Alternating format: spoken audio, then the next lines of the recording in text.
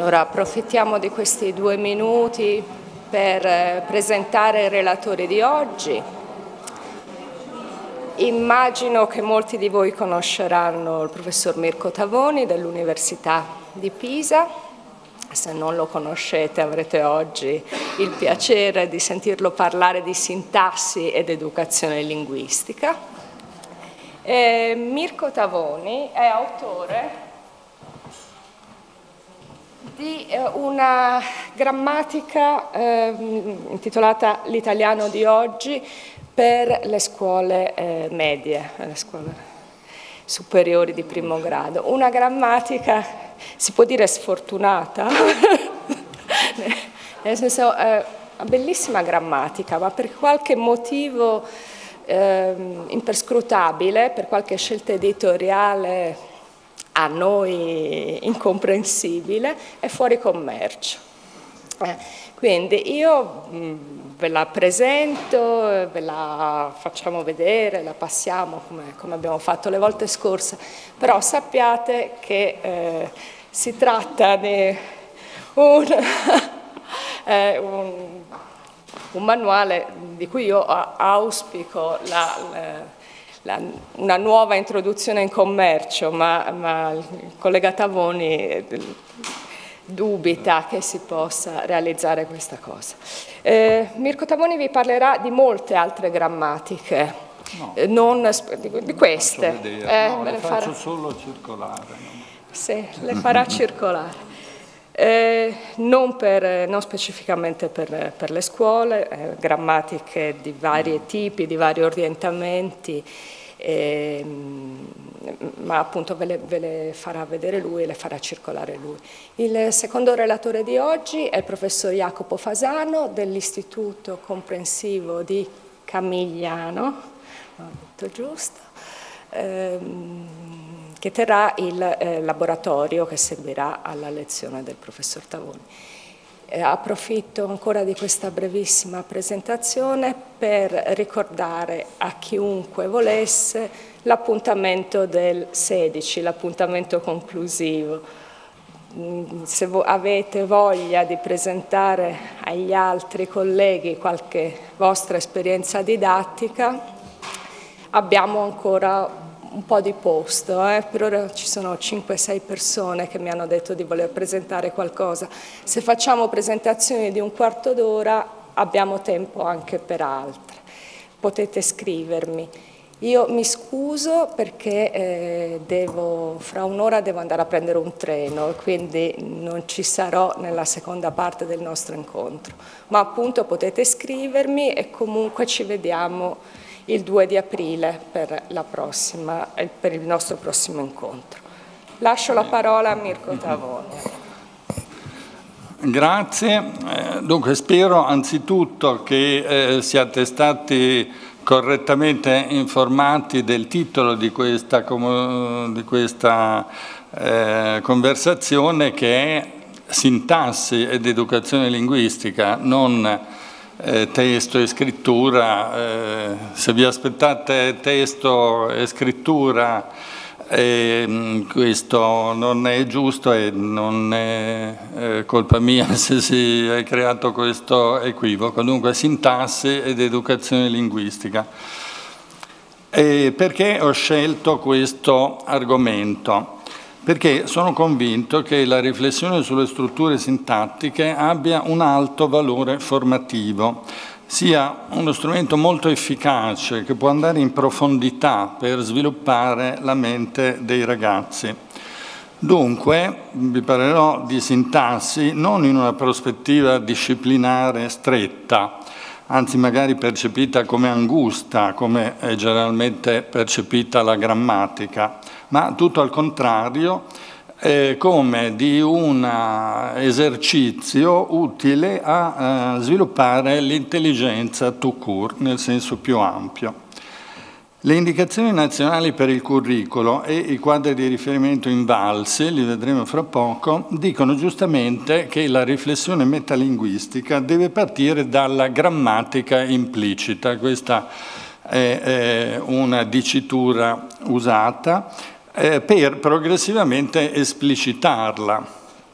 questo è molto giusto, ma con ciò eh, le indicazioni nazionali intendono passare dalla grammatica implicita, ovvero dalla competenza eh, nativa, come si dice anche con altra terminologia, alla norma esplicita, la norma standard, cioè lo scopo ultimo di questo partire dalla grammatica implicita è di arrivare a definire e a far padroneggiare eh, la norma, quindi è un percorso finalizzato all'insegnamento della norma. Ora, insegnare le norme naturalmente va bene, va benissimo, anzi è necessario farlo con efficacia, ma io invento una cosa diversa, più profondamente formativa, cioè anzitutto mediante l'introspezione nella propria competenza nativa, far, nel caso si tratta di parlanti nativi naturalmente, perché poi invece si dà il caso, tutt'altro che raro che non siano parlanti nativi, però per semplicità partiamo dal caso che si tratti di eh, eh, ragazzi italofoni fin dalla nascita, che hanno l'italiano come lingua materna. E dunque l'introspezione nella propria competenza nativa attraverso questo esercizio far scoprire ai ragazzi il tesoro intellettuale che possiedono senza esserne consapevoli cioè un sistema pienamente funzionante, iscritto nelle reti neurali della corteccia cerebrale, che permette loro di usare il linguaggio ed è un sistema straordinariamente sofisticato. Un software, se vogliamo usare questa metafora, eccezionalmente evoluto, che il loro cervello ha miracolosamente sviluppato a partire dai primi mesi di vita e che ora a 12-14 anni, si trovano in testa perfettamente formato e al tempo stesso ancora estremamente plastico, ancora capace di un fortissimo potenziamento, di fortissime potenzialità di crescita che l'educazione dovrebbe attualizzare queste potenzialità invece che lasciarle atrofizzare, evochiamo l'eventualità opposta. Rendere i ragazzi consapevoli di questo tesoro mentale che possiedono semplicemente in quanto parlanti nativi, secondo me dovrebbe sviluppare in loro anzitutto, parto da una considerazione psicologica, anzitutto una profonda autostima che costituisce una ottima base di partenza per studiare, per volerne capire di più, perché è una cosa intuitivamente di grande valore, intuitivamente purché li si porti a questa intuizione, che dunque merita molto di essere capita. E poi è una cosa loro, una cosa in un certo senso intima. In secondo luogo, esercizi di autoriflessione specifica su singoli fenomeni, singole strutture, esercizi totalmente induttivi e per via di tentativi di interpretazione, diciamo maieutici, hanno una fortissima potenzialità di affinamento delle loro capacità di introspezione, analisi, ragionamento, eccetera. Quindi lo scopo che vedo io nell'imboccare questa strada è anche di arrivare alla fine a padroneggiare la norma in modo non estrinseco, anzi maturato dall'interno, eh, ma soprattutto eh, e prima di tutto è di sviluppare capacità mentali ad ampio, anzi amplissimo spettro. Capacità mentali che, tornando al punto dell'educazione linguistica, giovano non solo a sviluppare conoscenze grammaticali, ma competenze linguistiche nel senso più ampio. Quindi un ottimo investimento di tempo, di tempo didattico e di energia, anche se lo riguardiamo dal punto di vista delle finalità pratiche, cioè di aiutare i ragazzi attraverso un percorso programmato sull'arco di tre anni, eh, cioè non, essendo una cosa così profonda non dà frutti eh, pratici dall'oggi al domani, ma eh, programmabile sull'arco di tre anni sì, e li può portare anche a ottenere un fine pratico da tutti considerato auspicabile, cioè di aiutarli a superare tutte le prove invalse di italiano, non solo quelle poche domande di grammatica. Che rapporto c'è qui fra il mio intervento e quello del professor Jacopo Fasano che sta in ultima fila in attesa di farsi vedere? È un rapporto di relativa autonomia. Eh, io eh, vi parlerò di sintassi ed educazione linguistica, nel senso sopra tratteggiato, con eh, focus primario sulle, diciamo così, idee sintattiche, ma con parallela attenzione all'uso di tecnologie. Vedremo in particolare l'uso di un software semplicissimo ma, ma abbastanza spettacolare nella sua estrema semplicità per la visualizzazione grafica delle strutture sintattiche e altri strumenti di eh, tecnologie dell'informazione e della comunicazione per la eh, didattica.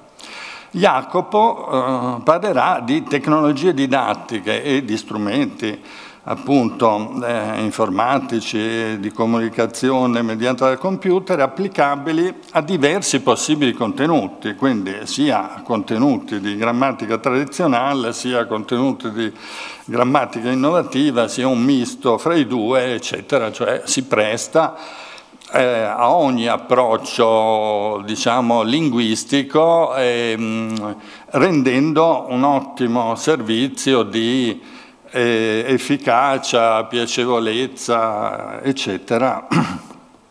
E le tecnologie sono naturalmente un mezzo, credo che Jacopo insisterà su questo concetto e si possono usare per contenuti diversi, fini diversi, eh, eccetera. E la cosa importante sono, che ogni insegnante scelga i eh, contenuti, i metodi, gli stili che gli sono più eh, propri, ehm, eh, potendo comunque ricevere un grande aiuto per l'efficacia del suo lavoro dalle tecnologie. Prima di iniziare a parlare di sintassi, mi sembra opportuno scorrere rapidamente i documenti MIUR e Invalsi su obiettivi, valutazione degli obiettivi, prove finali e, non per disperdersi, ma per vedere una cosa specifica, funzionale al tema di oggi, e cioè per vedere se le proposte di diciamo così, educazione sintattica che illustrerò hanno cittadinanza o no nel contesto reale delle attività scolastiche condizionate come sono queste attività da questa valutazione finale.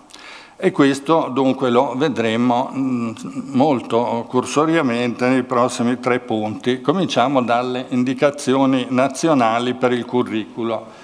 Eh, temo che non leggiate molto bene, quindi eh, qui pazienza, eh, voi ascoltate me, le, le, le, insomma, le, informazioni le veicolerò anche tramite voce. Eh. Allora, cominciamo dalle competenze al termine del primo ciclo, cioè elementari più medie, in lingua italiana, le troviamo a pagina 10, vediamo cosa dicono loro, cosa dicono queste indicazioni.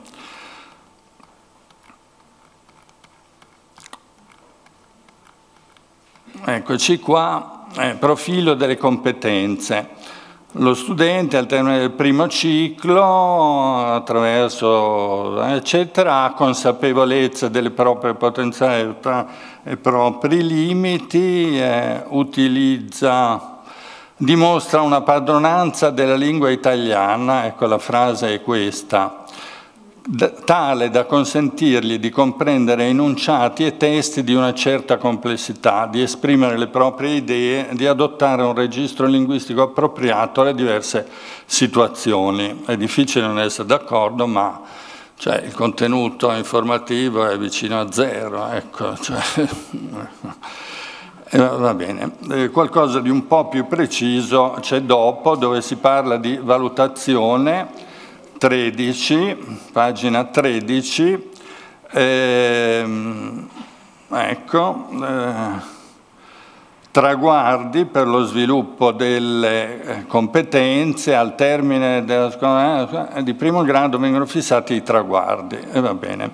Nella scuola di primo ciclo i traguardi costituiscono criteri, vabbè qui non si entra, obiettivi di apprendimento, valutazione, eccoci qua. La valutazione deve essere fatta, eh, certificazione delle competenze, andiamo al dunque. Allora, la scuola, ecco,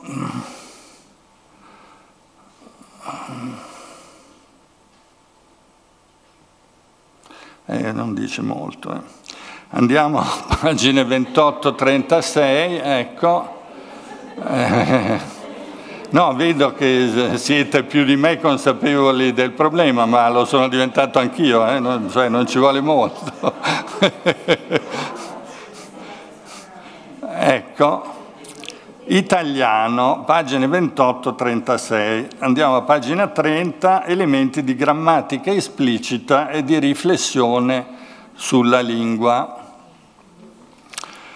Ogni persona fin dall'infanzia possiede una grammatica implicita, ecco il passo che eh, ricordavo prima, che le permette alla persona di formulare frasi ben formate pur senza conoscere concetti quali quelli di verbo, soggetto, eccetera. Questa grammatica implicita si amplia e si rafforza negli anni attraverso l'uso della lingua che permette di giungere a forme corrette in italiano standard e di realizzare enunciati in diverse varietà linguistiche e in diverse lingue. Inoltre, sin dai primi anni di scuola, e questo è giusto, questa prima frase è tutto giusto, questo primo paragrafo, inoltre, sin dai primi anni di scolarità i bambini hanno una naturale predisposizione a riflettere sulla lingua, anche questo è vero, è su queste attitudini che l'insegnante si può basare per condurre gradualmente l'allievo verso forme di grammatica eh, esplicita. Ecco. E qui, insomma, sono indicazioni davvero generiche ma giuste. Ecco. Eh, traguardi, tra, vediamo quali sono i traguardi. Qui si scende un pochino più nel concreto. Eh, traguardi sono distribuiti sulle varie abilità e, ehm, per quanto riguarda la grammatica, per noi ci, oggi eh, ci concentriamo solo su questo, padroneggia, è l'ultimo paragrafo, padroneggia e applica in situazioni diverse le conoscenze fondamentali relative all'organizzazione logico-sintattica della frase semplice, alle parti del discorso o categorie lessicali e ai principali eh, connettivi. Va bene.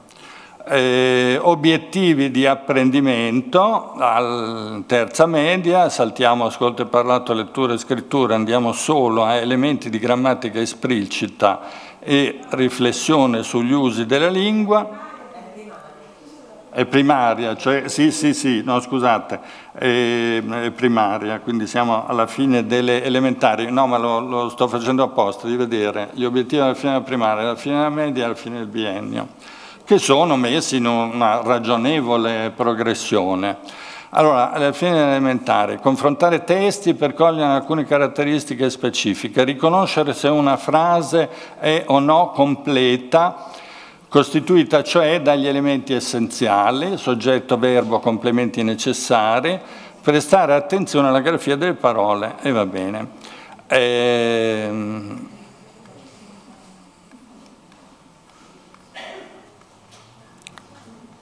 Elementi di grammatica esplicita riflessione sugli usi della eh, lingua, pagina 33, ho riconoscere eh, osservazioni insomma, sulla formazione delle parole, relazioni di significato sul lessico, cose molto importanti. Venendo alle strutture, riconoscere la struttura del nucleo della frase semplice, la cosiddetta frase minima, predicato, soggetto, altri elementi richiesti dal verbo. Allora, qui eh, stiamo indicando un modello di grammatica che è io direi eh, l'unica eh, novità largamente entrata nei libri di testo, insomma nella pratica scolastica negli ultimi decenni, cioè rispetto alla grammatica tradizionale tradizionale, qui c'è un riferimento alla teoria delle valenze, al verbo, ai suoi argomenti, cioè alla, al nucleo delle, delle idee di Tesnier. Poi riconoscere in una frase o un testo le parti del discorso, e va bene, o categorie lessicali, riconoscere i principali tratti grammaticali e le congiunzioni di uso più frequente, quindi qui c'è un accenno alla linguistica testuale, all'idea della, della, coesione del testo, dei connettivi, dei coesivi, eccetera, e poi eh, sapere l'ortografia. Va bene. Andiamo avanti. E quindi riconoscere le parti del discorso, cioè saper fare quella che tradizionalmente si chiama l'analisi grammaticale e saper fare l'analisi logica della frase semplice con una, diciamo, piccola riforma delle categorie tradizionali dell'analisi logica che includano l'idea di eh, argomenti del verbo, nucleo, elementi extranucleari, eccetera. Eh, pagina 34 e seguenti, gli obiettivi di apprendimento alla fine della terza media per quanto riguarda la eh, grammatica esplicita, ecco, eh, tipi testuali, varietà, eccetera, eh, riconoscere le relazioni fra i significati delle parole, i meccanismi di formazione delle parole, riconoscere l'organizzazione logico-sintattica della frase semplice, la struttura e la gerarchia logico-sintattica della frase complessa, almeno a un primo grado di subordinazione. Quindi saper fare l'analisi della frase semplice, cosiddetta analisi logica, saper fare un po' di analisi del periodo. Ecco. Proprio questa limitazione almeno un primo grado di subordinazione, insomma, non ha, non ha molto senso, però sì. cioè, non, cioè, bisogna, eh, alla fine di un certo anno di eh, ingegneria edile, bisogna saper costruire fino al terzo piano, al quarto piano in poi ci vuole la laurea magistrale, insomma, non ha molto senso, ma e, va bene, le parti del discorso, quindi siamo sempre all'analisi grammaticale, riconoscere i connettivi, quindi quel tanto di, giustamente, di linguistica testuale eh, che c'è. Eh, va bene. Eh, passiamo alla, agli, ai quadri di riferimento eh, invalsi, vado eh, rapidamente. Ehm, eh, ambiti grammaticali verificati nelle prove, saltiamo a pagina 17. Eh?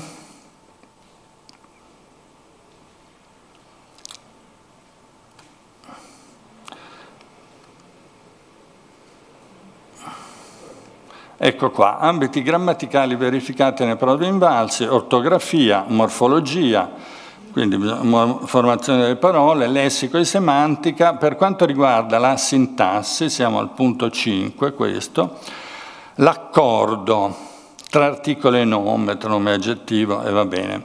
Sintagma, ecco, questa, questa è una novità, cioè nella grammatica tradizionale non si parla di sintagmi e neanche nella grammatica tradizionale più eh, verbo, valenze e argomenti non si parla di sintagmi. Questa è un'altra componente che viene molto timidamente inserita qui. Ecco, eh, sintagma e poi lo precisa, nominale, verbale, preposizionale, frase minima, dicendo frase minima torniamo alla grammatica delle valenze, semplice o proposizione complessa o periodo, frase dichiarative, interrogative, eccetera, elementi della frase semplice, soggetto, predicato, complementi predicativi e altri complementi, obbligatori e facoltativi. Allora dicendo obbligatori e facoltativi siamo nella distinzione fra argomenti e non argomenti.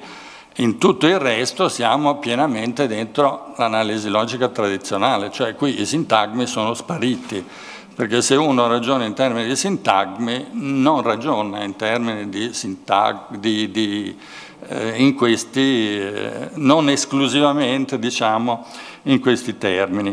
Gerarchia della frase complessa, frase principale, coordinate, subordinate, diverse tipologie, chissà cosa significa diverse tipologie, e se significa che ce n'è un lungo elenco, queste non sono tipologie. Eh, tipologie fa pensare che qui abbia in mente, ma si guarda dal dirlo, la tripartizione tra frasi argomentali, extranucleari e attributive, che è diciamo, un riflesso nella sintassi del periodo dell'idea del verbo e dei suoi argomenti, però è, è all'uso in modo così implicito che non si saprebbe dire. Ma insomma, per dire che che qui un cenno eh, non sviluppato c'è anche ai, ai sintagmi, c'è una componente diversa dalle precedenti. Ehm, vediamo il formato delle domande alle pagine 19 e 20.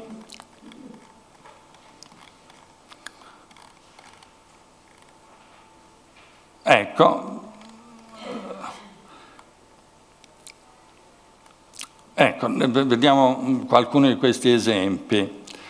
E, ehm, nel periodo voglio sapere, beh, vediamole, nella frase questa estate ogni mattina la televisione ha ridato lo stesso film, il soggetto è chiede di individuare il soggetto, quindi sto, sto parlando a che tipo di modello è presupposto necessariamente per poter rispondere a queste domande. Qui è l'analisi logica tradizionale. C3.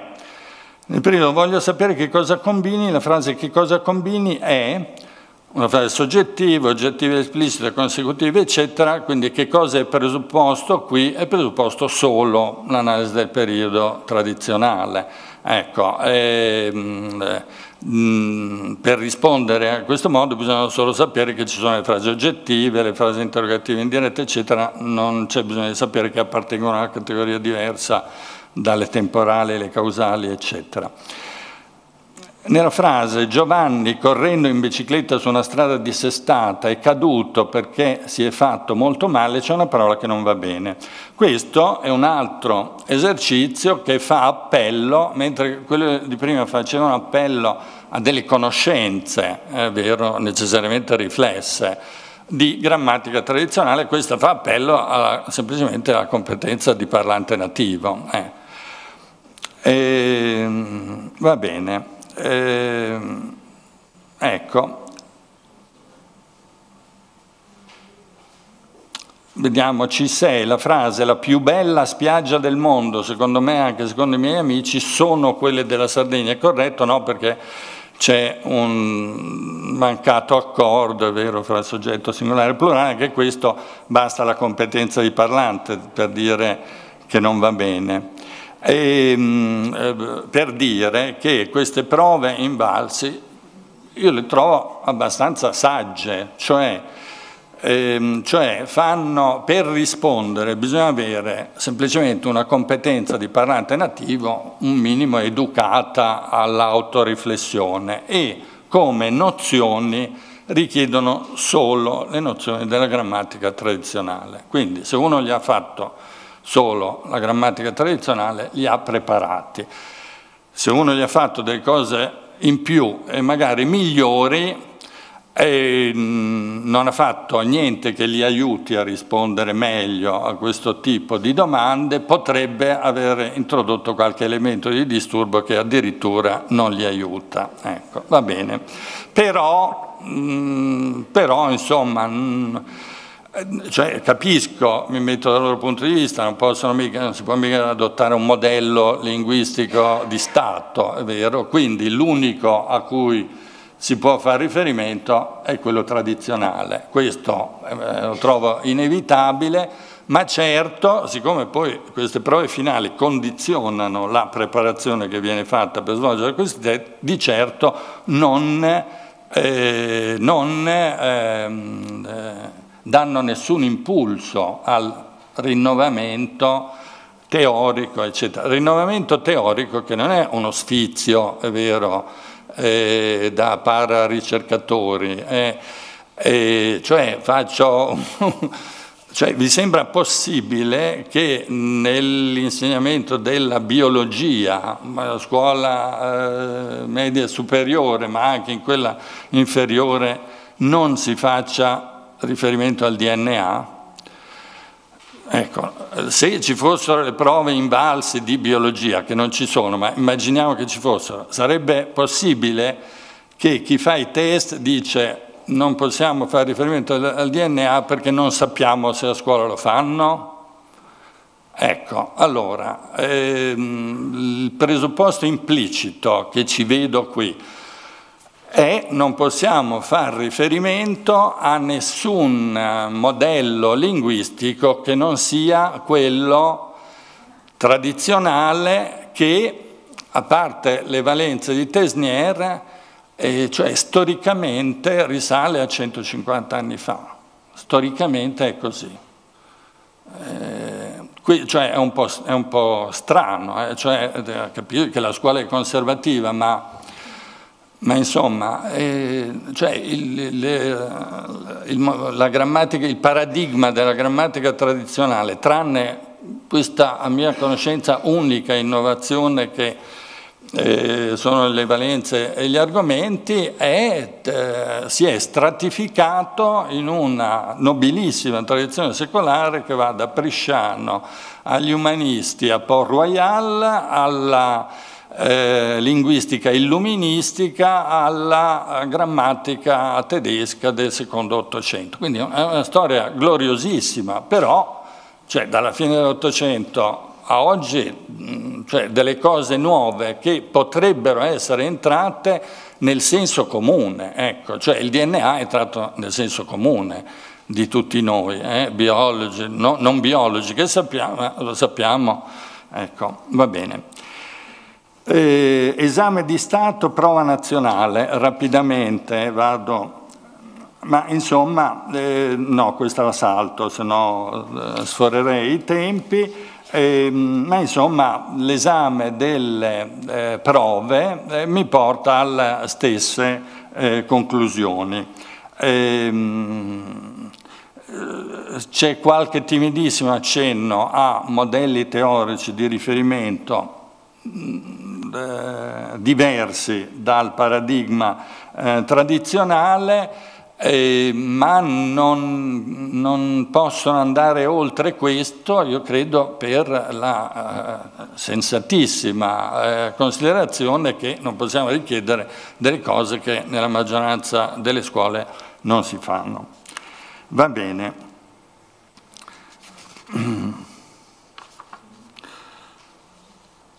Allora, ehm,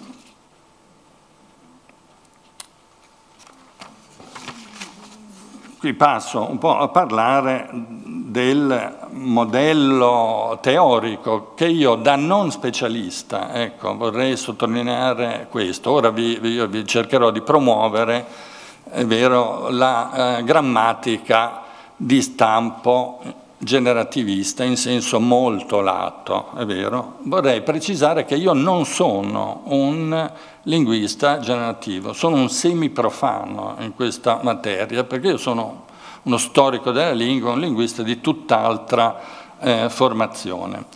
Eh, però nel, trovandomi a eh, insegnare necessariamente la linguistica italiana, la grammatica italiana di oggi per il corso di laurea nel quale insegno. E inoltre avendo molta consuetudine negli anni con incontri con insegnanti di questo tipo, ho maturato una convinzione, che è quella che vi sto esponendo, e cioè che, che la cosa più giusta da fare didatticamente sia questa. E quindi non perché io sia un patito di questa particolare setta, è vero, di linguisti a cui non appartengo, ma perché sono, credo, equilibratamente convinto che sia la cosa che può giovare di più all'apprendimento linguistico, ve la sto eh, proponendo. E, ehm, vorrei dire eh, prima questo concetto eh, preliminare, e cioè che la differenza più grossa in termini di risultati formativi eh, non è tra scegliere questo o quel modello teorico di riferimento, ma è tra fare grammatica e non farla. Almeno due terzi degli studenti che si iscrivono non alla, alla facoltà di veterinaria ma alla facoltà di lettere, la mia esperienza, occhio, almeno due terzi sanno pochissima grammatica tradizionale, pochissima grammatica tradizionale. Allora, questo mi induce a dire che la grossa differenza è tra averla fatta, la grammatica tradizionale, che è obsoleta, eh? cioè è una biologia in cui non si intravede neanche il DNA, quindi sarà obsoleta. Ecco. Però eh, tra fare questo e non farla c'è il grosso della differenza, perché anche l'analisi logica tradizionale, l'analisi grammaticale, l'analisi logica, l'analisi del periodo in termini tradizionali sono pur sempre esercizi un po' arrugginiti, diciamo parecchio difettosi, insomma abbastanza, almeno abbastanza difettosi, ma sono pur sempre degli esercizi di autoriflessione, riflessione sulle strutture, eccetera, eccetera. Quindi, diciamo, non farla 1 e 0, fare la grammatica tradizionale è a 70 su 100, però ci vorrebbe poco a fare anche il meglio, che, cioè a parlare anche del DNA, ecco, che, non solo, che non è un argomento in più, ma significa rivedere e sostituire, ecco, non con un gesto di eversione, è vero, distruggere e sostituire, ma con un processo riformistico, cioè non è che le nozioni vero, di soggetto, predicato, complementi, eccetera, non vadano bene, ma possono essere migliorate anche notevolmente. Ecco, però diciamo da 0 a 70, poi eh, si può andare a 80, 90, è vero, con relativamente poca fatica di riconversione del proprio modo di eh, ragionare.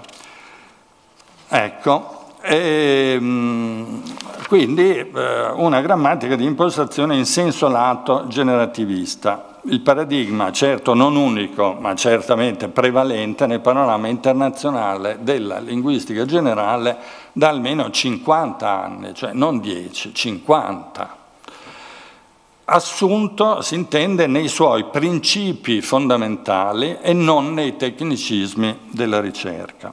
Un paradigma concretizzatosi in Italia in una straordinaria impresa che sicuramente conoscete, ma comunque vi, vi, eh, vero, riporto all'evidenza come la grande grammatica di consultazione di Renzi, Salvi, Cardinaletti, di cui sarebbe il caso che la scuola approfittasse, perché, eh, come è stato detto all'uscita di quest'opera, quest'opera fa dell'italiano la lingua meglio descritta grammaticalmente al mondo, cioè più dell'inglese. Quindi abbiamo questa eh, straordinaria fortuna, ci sono questi libroni, se io metto qui a vostra disposizione, se li volete eh, circolare, e, ehm, eh, ma queste sono un'opera di consultazione, di riferimento, solo i linguisti e pochi fra loro se la studiano dall'inizio alla fine, ma per dire quanto sapere è stato prodotto in Italia, che nelle forme eh, appropriate può benissimo entrare in circolazione, in ampia circolazione. Ecco. Per familiarizzarsi con questo modello, ripeto, nei suoi assunti di base, cioè per quanto è necessario per usarlo pedagogicamente, basta leggere pochi libri e al limite uno solo, che è questo, che è il riassunto di quei tre volumi che probabilmente conoscerete anche voi, è, è scritto dagli stessi autori, eh? quindi quindi è allo stesso livello intellettuale di quello lì, è condensato Giampaolo Salvi, Laura Vanelli, nuova grammatica italiana. Ecco, e volendo questo aureo libretto di Giorgio Graffi la frase l'analisi logica. L'analisi logica, cioè, cioè, esiste un termine più scolastico di questo, ecco, Giorgio Graffi è uno dei più bravi eh, linguisti generativi eh, in Italia e ha avuto la bellissima idea di ehm, eh, fondare presso Carocci questa collanina di librettini così tascabero pocket, eh, 100 pagine, dandogli come titolo l'analisi logica, eh, poi c'è le parti del discorso. Le parti del discorso sono scritte da Giampaolo Salvi, cioè un'operazione di grande intelligenza che parte dalle nozioni della grammatica tradizionale trattate da un grande linguista che fa evolvere questi concetti verso una loro versione moderna, ecco, molto mm, intelligente, per cui eh, eh, chi eh, si legga quella grammatica, nuova grammatica italiana di Salvio Vanelli, eventualmente corredata di questo più il libretto sulle parti del discorso, eccetera, eh, fa un eccellente eh, corso di aggiornamento e di ehm, riconversione che non deve essere totale, ma basta che sia mirata, parziale ma mirata riconversione dei concetti eh, tradizionali. Ehm, allora, ehm, per dare un'idea del tipo di riflessione metalinguistica e corrispondentemente del tipo di esercizi che ho in mente per fare quel lavoro che dicevo all'inizio, dividerò il mio intervento in due parti. Uno, riflessioni assolutamente libere e non formalizzate che si possono fare con i ragazzi a partire dalla, da questa domanda che io trovo sia la domanda di partenza che bisognerebbe fare ai ragazzi eh, per trattare qualunque argomento sempre per via di partire concretamente dalla loro grammatica implicita. Allora, cosa vuol dire partire dalla grammatica implicita? Eh, qui facciamo un esercizio concreto e puntuale di partire dalla loro grammatica implicita. Allora, la prima domanda da fare per sondare la loro grammatica implicita è di sottoporgli una, la frase A, la frase B, la frase C e dire queste frasi ti suonano bene? Eh? Queste frasi funzionano? Per quello che tu sai come parlante nativo, se abbiamo a che fare con un parlante nativo, poi se abbiamo a che fare con un bambino senegalese, un bambino cinese, eccetera, bisogna riconvertire quello che sto dicendo, però insomma in un'ora io parlo, parlo, di questo, non posso parlare di tutto. Ecco, e, ehm, allora, eh, cominciamo da questo Ecco, da questo elenco di eh, frasi, questa la, la allargo il più possibile, ecco, spero che... Eh, eh, allora, no, bisogna fare un'altra cosa, bisogna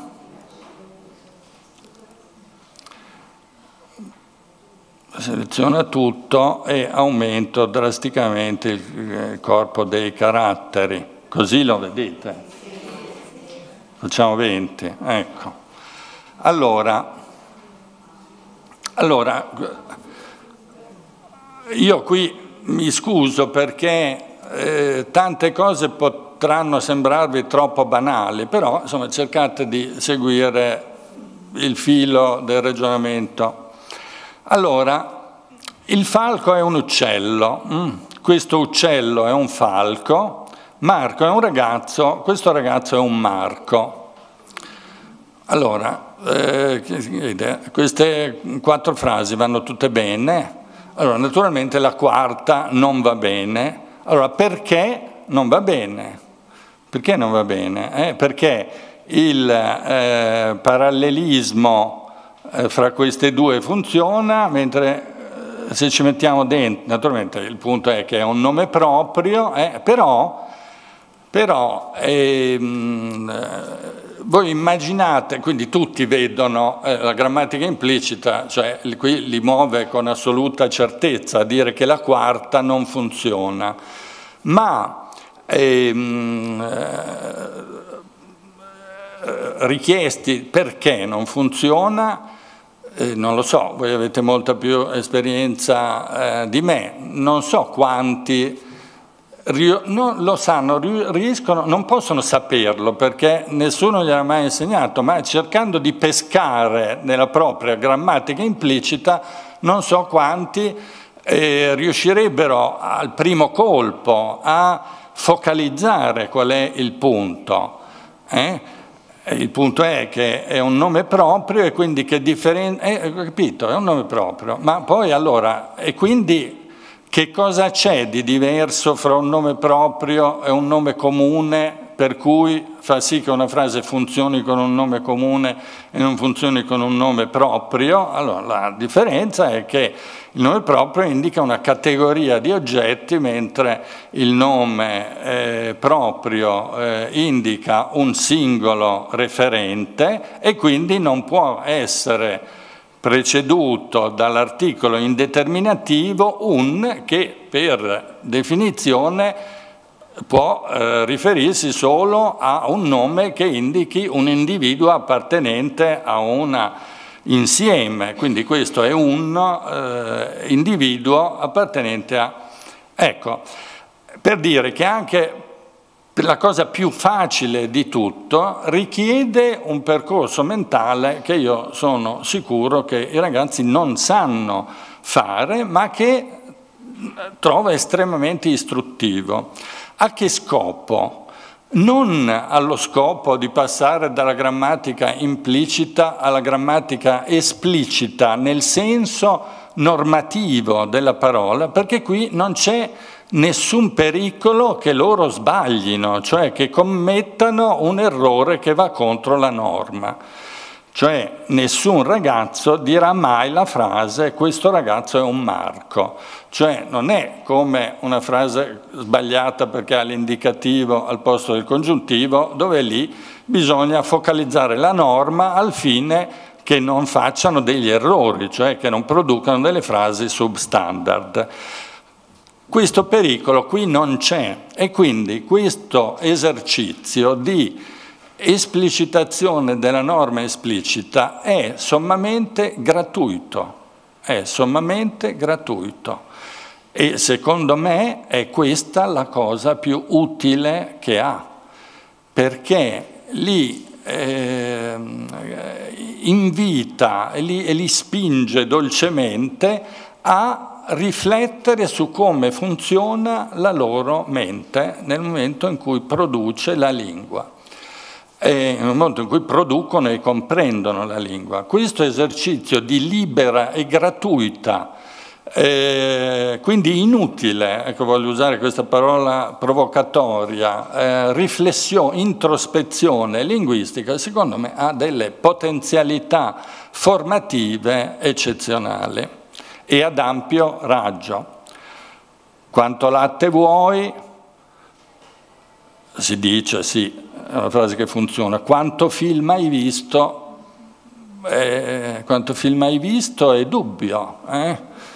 Eh, cioè fondamentalmente no, però se voglio dire fino a che punto del film sei arrivato, allora lo posso dire un paese con molti alberi, si può dire un giacimento con molti petroli, non si può dire nel senso che nessuno lo dice, perché è una norma, è una regola, una norma, è una regola infallibile incorporata nella mente dei parlanti che fa sì che si usino parole come eh, alberi e, albero e film con un certo comportamento sintattico e parole come latte e petrolio con un altro comportamento sintattico. Naturalmente sappiamo che questa è la differenza tra nomi numerabili e nomi massa, e, mm, eh, ma non c'è bisogno che i ragazzi studino questa cosa per arrivare a saperli usare, non sbaglieranno mai. Non sbaglieranno mai perché vuol dire che la differenza tra queste due categorie di nomi è iscritta nella loro competenza che è quanto mai istruttivo, per quanto gratuito, esplorare. Lo stesso i fucili dei soldati, il coraggio dei soldati, oggi c'è il sole, va bene, oggi c'è un sole, non va bene, ma oggi c'è un sole velato dalle nubi, va di nuovo bene, allora se, è vero, eh, maieuticamente, induttivamente si esplorano queste differenze, ecco. È più naturale dire è arrivata una lettera per te o una lettera per te è arrivata. Sono possibili tutte e due, ma tutti diranno che è più naturale dire è arrivata una lettera per te. Qui non è, non è più è facile, eh, ma non è più tanto facile come quelle di prima. Eh. Qui si possono dare due spiegazioni diverse, una che ha a che fare con eh, i, gli articoli definiti o indefiniti e un'altra che ha a che fare con che tipo di verbo è il verbo arrivare. Ecco, che, quella che ha a che fare con che tipo di verbo è il verbo arrivare di sicuro non l'hanno mai sentita dire, gli riuscirebbe completamente nuova.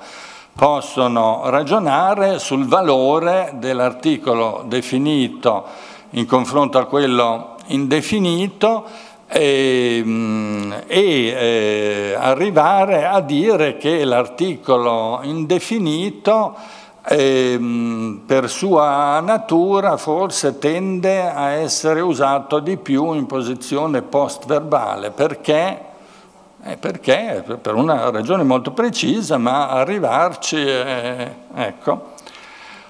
Questa invece la prossima è di natura diversa, eh, questa è di natura diversa, riguarda la morfologia, ehm, riguarda il fatto che esistono pochi aggettivi che hanno eh, la forma del superlativo assoluto, un residuo del superlativo assoluto sintetico latino, per cui si dice acerrimo, ecco, è rimasto questo relitto, ehm, però eh, posso dire un nemico acerrimo, e non, non posso dire un nemico molto acre, e invece posso dire un sapore molto acre, ma non posso dire un sapore acerrimo. Eh, insomma, è curioso, eh, è curioso. Perché? Eh, perché, eh, chiaramente, perché se la parola è usata in senso concreto, se l'aggettivo è usato in senso concreto, allora appartiene a un registro comune della lingua nel quale non ci sta il superlativo latineggiante. Il superlativo latineggiante ci sta solo se la parola è usata in forma traslata e quindi appartiene a uno strato superiore della lingua.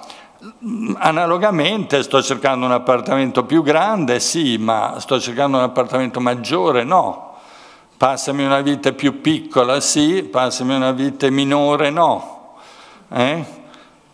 Ma sì, serve una vite di diametro minore, sempre la stessa vite, cioè, perché una vite minore non posso dire, una vite di diametro minore non posso dire perché naturalmente se introduco la parola della geometria, una parola scientifica come diametro, la cosa si alza e allora anche il comparativo di origine latina, anche se non ha certo la connotazione così alta come superlativo acerrimo, però pur sempre il fatto di essere origine, di origine latina lo preserva da usi troppo concreti. E va bene. Mm, passiamo una, rapidamente a un'altra categoria come questa.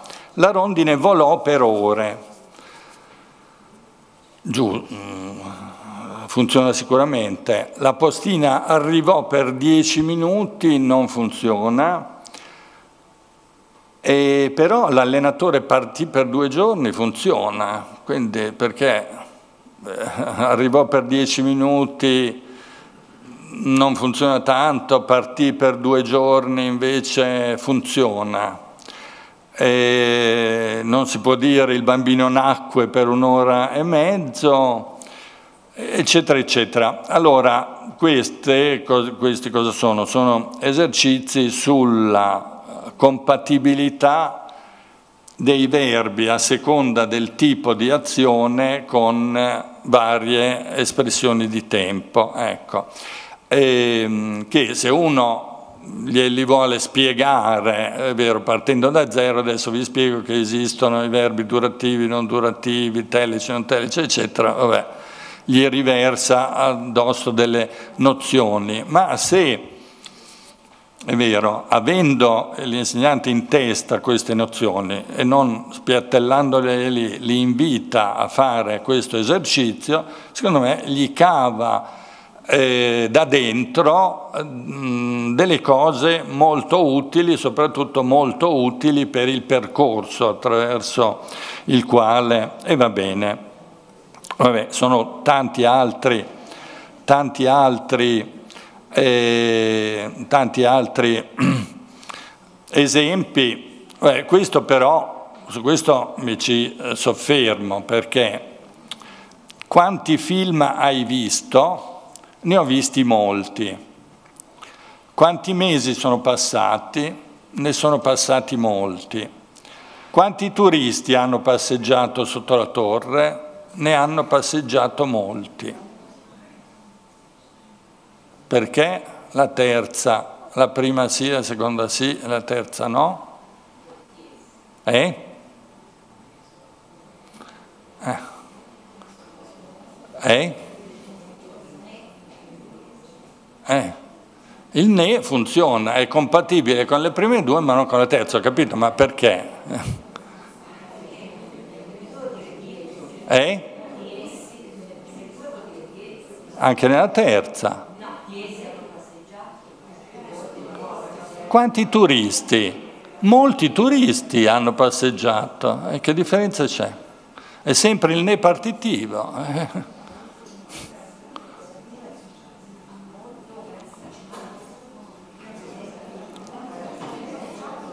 Cioè in tutti i casi ne hanno più il verbo molti, vuol dire molti di, que, di essi hanno fatto questa cosa. Sì. Eh.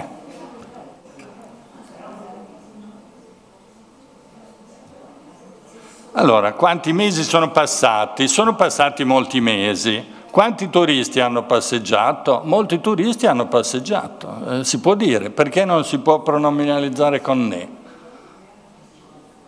Eh, non è evidente perché non lo si possa fare. Eh. Esempio parallelo, questo col participio assoluto. Visto il film, tornarono a casa.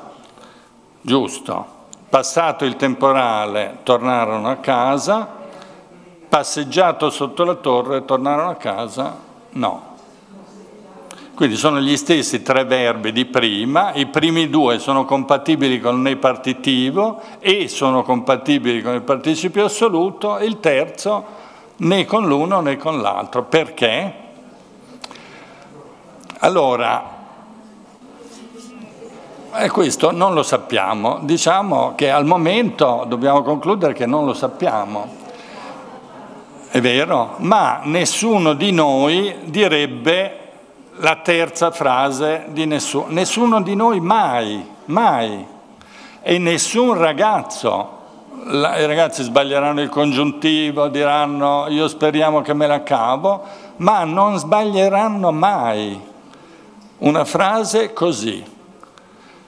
Ecco, questo, mi fermo qui con gli esempi, ma allora la risposta è perché esiste un tipo di verbi che ha questo comportamento. Esiste un tipo di verbi che non è mai menzionato nella grammatica tradizionale che ha questo diverso comportamento. È, è, è una cosa insomma, interessante, no?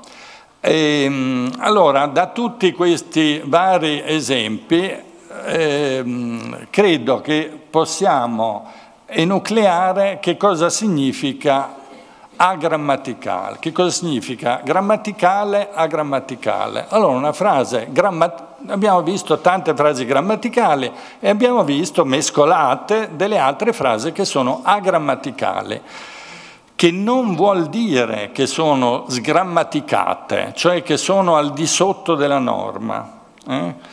E, e, vuol dire che sono non substandard, non scorrette, non inferiori alla norma, non rispondenti alla norma, ma sono cognitivamente sbagliate, cioè non sono normativamente sbagliate, sono cognitivamente sbagliate, perché confliggono con le regole di funzionamento del linguaggio che costituiscono la nostra grammatica implicita Grammatica implicita è una cosa estremamente concreta e funzionante che si può andare a assaggiare, per cui vediamo che la nostra grammatica implicita ci dà infallibilmente delle risposte di cui non sappiamo rendere ragione. Ecco, quello che volevo dirvi è questo, cioè portare i ragazzi a questa consapevolezza, secondo me, è una cosa da cui scatta no, moltissime potenzialità di crescita intellettuale nel campo della riflessione sul linguaggio, ma un pochino anche in generale di riflessione sulla mente. Ecco. Va bene, sono stato troppo lungo, per cui eh, faccio, ecco, faccio faccio un'altra cosa. Allora, questi, eh, se siamo arrivati induttivamente a questo punto, è vero, siamo arrivati al punto in cui per dargli la spiegazione bisognerebbe parlare di aspetto verbale. Alcuni esempi che ho saltato riguardavano l'aspetto verbale. In altri casi bisogna parlare di azione verbale, tipo di azione verbale che sono cose dell'aspetto un pochino se ne parla, ma poco, l'azione verbale in genere non se ne parla affatto, capisco che non se ne parli nelle grammatiche perché le grammatiche sono finalizzate alla norma, cioè non trattano l'intero funzionamento della lingua, trattano solo quelle limitate parti eh, della lingua dove ci sono dei dubbi normativi. Eh, quindi si focalizzano se si deve usare l'indicativo, si deve usare il congiuntivo, perché la norma in certi casi prescrive il congiuntivo, mentre la lingua parlata tende a usare l'indicativo. Cioè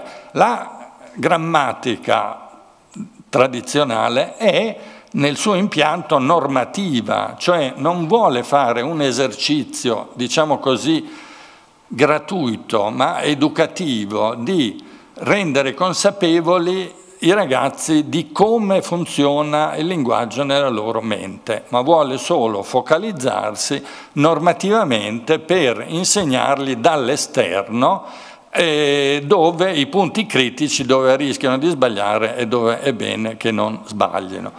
Ecco, la grammatica non nel senso normativo, ma nel senso cognitivo che ho cercato di eh, comunicarvi, secondo me ha un interesse enormemente maggiore, una potenzialità eh, formativa, proprio formativa, enormemente maggiore e alla fine è anche la più efficace per fargli sviluppare una competenza esplicita raffinata che li porterà a non commettere errori di stampo normativo. Ma non mm, questo braccio di ferro diretto per cui tu vuoi sbagliare su questo punto, io ti insegno come non sbagliare su questo punto, tutto estrinseco, ma per una via interna di potenziamento della propria competenza nativa. Ciò detto, Ecco, e concludo qui perché la seconda metà delle cose che volevo dire non ho tempo di dirla, però voglio concludere su questo. Alcuni concetti linguistici che secondo me non dovrebbero mancare in una educazione linguistica che abbia eh, la, anche l'ambizione e il taglio che sto cercando di eh, comunicare. E poi sulla colonna di destra questi concetti linguistici che non appartengono alla grammatica tradizionale e che secondo me dovrebbero esserci perché sono, illustrano delle forze fondamentali nel funzionamento del linguaggio. Quindi se vogliamo spiegare come funziona il corpo umano, eh, le, eh, vero, le, le cose fondamentali per capire come funziona il corpo umano bisogna dargliele. Se vogliamo fargli capire come funziona il linguaggio, i concetti fondamentali su come funziona il linguaggio, anche nel caso che non siano direttamente utili a correggere la norma, bisogna darglieli. Una volta che questi concetti linguistici gli siano dati, che cosa, quali modifiche comportano nel nostro normale modo di insegnare l'analisi grammaticale, l'analisi logica e l'analisi del periodo? Allora, molto schematicamente e per finire, uno, non dovrebbe mancare il concetto di deissi, cioè quel fondamentale meccanismo linguistico per cui un elemento presente nel discorso per essere spiegato non rimanda a un altro elemento presente nel discorso ma alla situazione comunicativa all'interno della quale avviene eh, la comunicazione. Questa è una forza eh, linguistica talmente fondamentale che è assurdo ignorarla. Quali conseguenze provoca sull'apparato di nozioni che noi abitualmente diamo, quello di cambiare, o meglio di introdurre veramente il concetto di persona grammaticale, che vi assicuro gli studenti universitari al primo anno, dopo aver studiato il manuale di Salvi Vanelli, fanno fatica a focalizzare, perché è talmente in primissimo piano che è come la lettera rubata, cioè non lo vedono. Cioè alla domanda che cosa significa la parola io, pochissimi sanno rispondere, pochissimi sanno rispondere. Quasi tutti dicono è il soggetto, risposta assurda, cioè, ma non vogliono dire il soggetto nel senso filosofico che sarebbe giusta, vogliono dire è il soggetto della frase, cioè una cosa completamente insensata. Ecco, cioè che cosa significano io e tu non lo sanno dire. Sarà importante? È una nozione importante? Ecco. Poi eh, comporta delle modifiche sull'idea di cosa sono i pronomi, eh, per cui la definizione etimologica e propria della tradizione grammaticale da Presciano in giù, che i pronomi sostituiscono i nomi, non sta in piedi da nessun punto di vista. Io e tu certamente non sostituiscono dei nomi, eccetera, eccetera. E poi la temporalità dei verbi, ora questo non è che sia un concetto assente, il presente è presente perché è vero, questo c'è, però si potrebbe fare un po' di meglio, cioè per analizzare la temporalità di una porzione di testo, è vero, segnando le azioni sulla linea del tempo e quindi potendo esplicitare fino in fondo che c'è un ancoraggio al momento dell'enunciazione, eh, allora tutte le azioni si vede, tutte le azioni espresse da tempi verbali si vede che deitticamente si pongono o prima o dopo il momento dell'enunciazione, ma anche che oltre a questa temporalità di tipo deittico c'è una temporalità di tipo anaforico cataforico data dall'uso di tutti i tempi eh, trapassati o futuro anteriore, eccetera. Queste cose ci sono nella grammatica tradizionale, però diciamo incentrate su un discorso esplicito, centrato sulla deissi, funzionerebbero molto meglio. So, il, una cosa che mi viene in mente è come spiegare il discorso indiretto. Ecco, cosa cambia passando dal discorso diretto al discorso indiretto? Io ho memoria di grammatiche che fanno delle assurde casistiche, il passato remoto diventa, cioè assurde. insensate casistiche, cioè la cosa da dire è che nel passaggio dal discorso diretto al discorso indiretto cambia il sistema di riferimento deittico. Nel discorso diretto il sistema di riferimento deittico è di chi dice quelle parole, nel discorso indiretto il discorso ehm, il eh, sistema di riferimento deittico è di chi riporta quelle parole. Basta dire così e tutte le cose farraginosamente descritte in dettagli che fanno acqua da tutte le parti diventano chiare. Questo per dire che con il ragionevole, ragionevole investimento di tempo sarebbe, di autoformazione eccetera, sarebbe possibile sostituire il, eh, diciamo, l'insieme di concetti tradizionali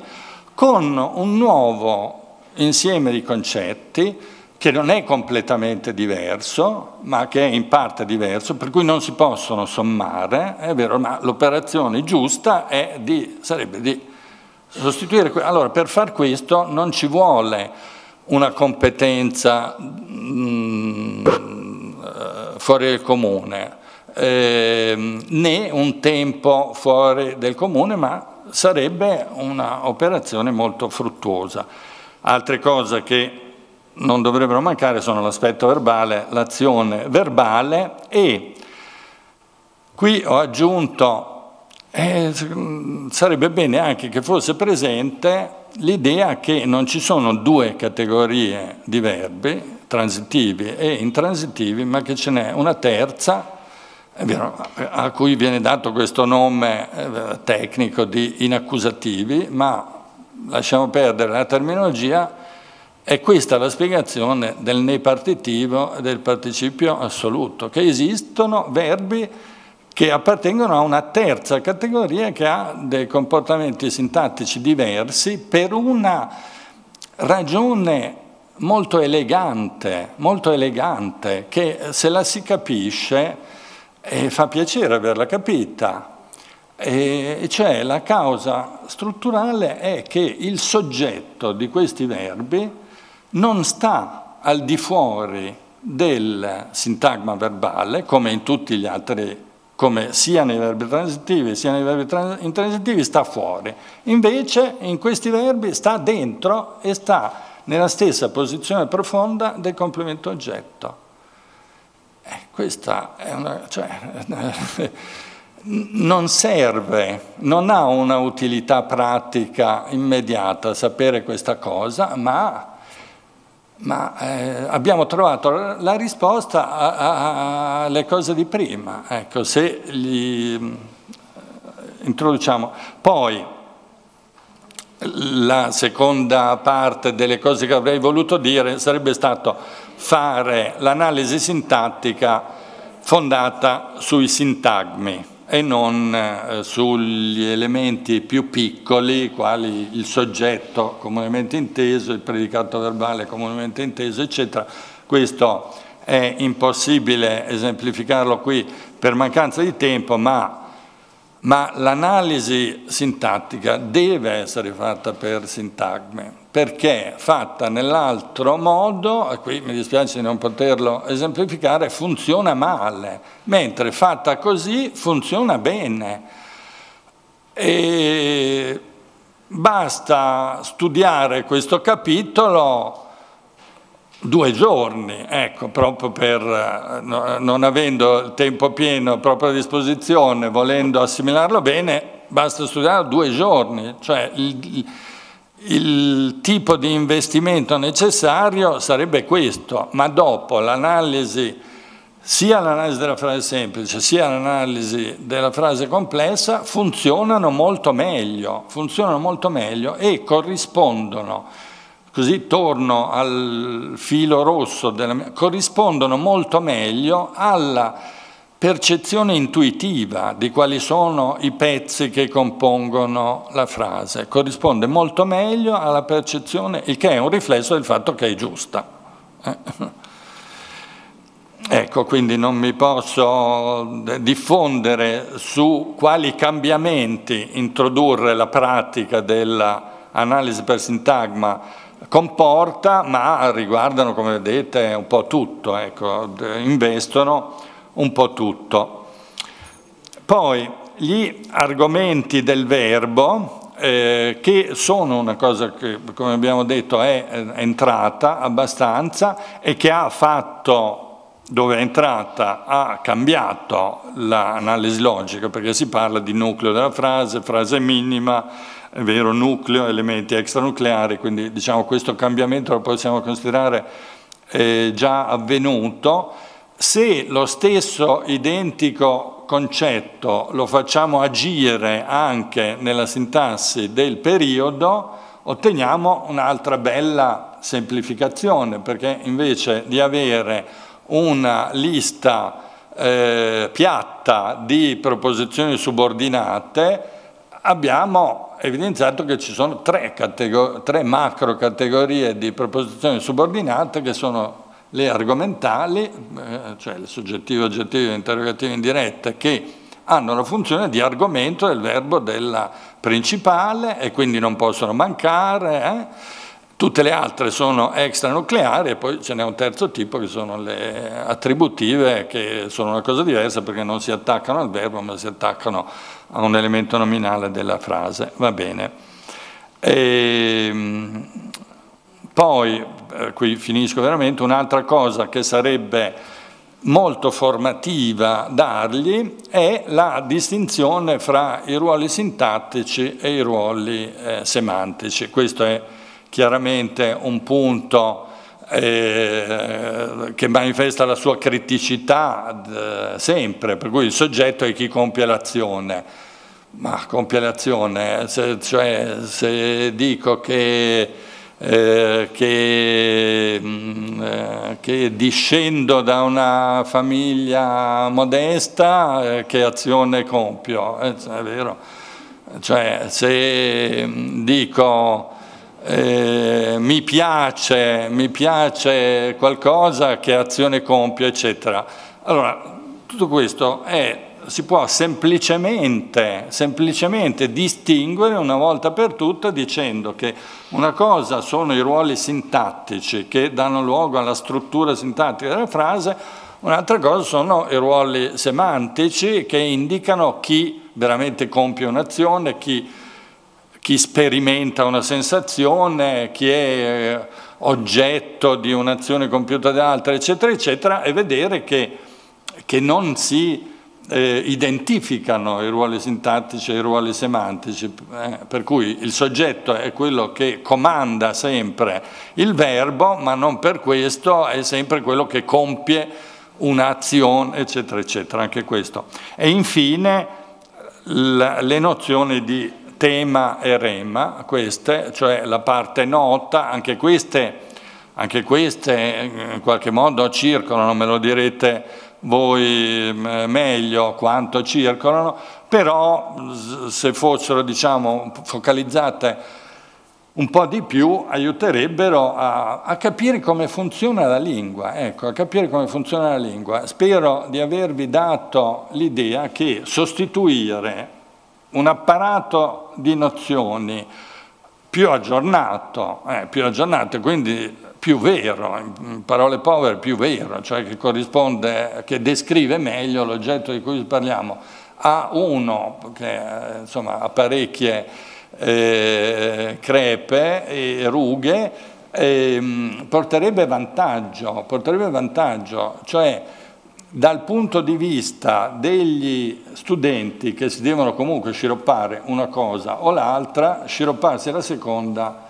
sarebbe molto meglio, ecco, eh, sarebbe molto meglio e sarebbe più intuitivo, eh, più convincente, eh, ecco, eh, ecco, solo questo. E mi dispiace di aver parlato più del eh, previsto e di aver detto due terzi delle cose che volevo dire, ma pazienza. Grazie.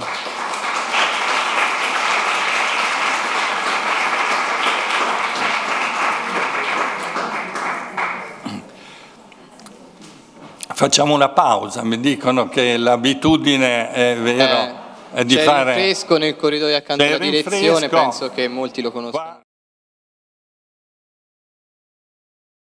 fatto venire in mente il mio primo giorno di lezione alla scuola media eh, sono entrato senza avere nessuna esperienza di pre-ruolo, proprio niente di niente. Mi hanno mandato in una prima, il preside era probabilmente un po' avventato da questo punto di vista, di solito il principiante non lo si mette in prima, e sono entrato e ho parlato della deissi pronominale. E l'effetto...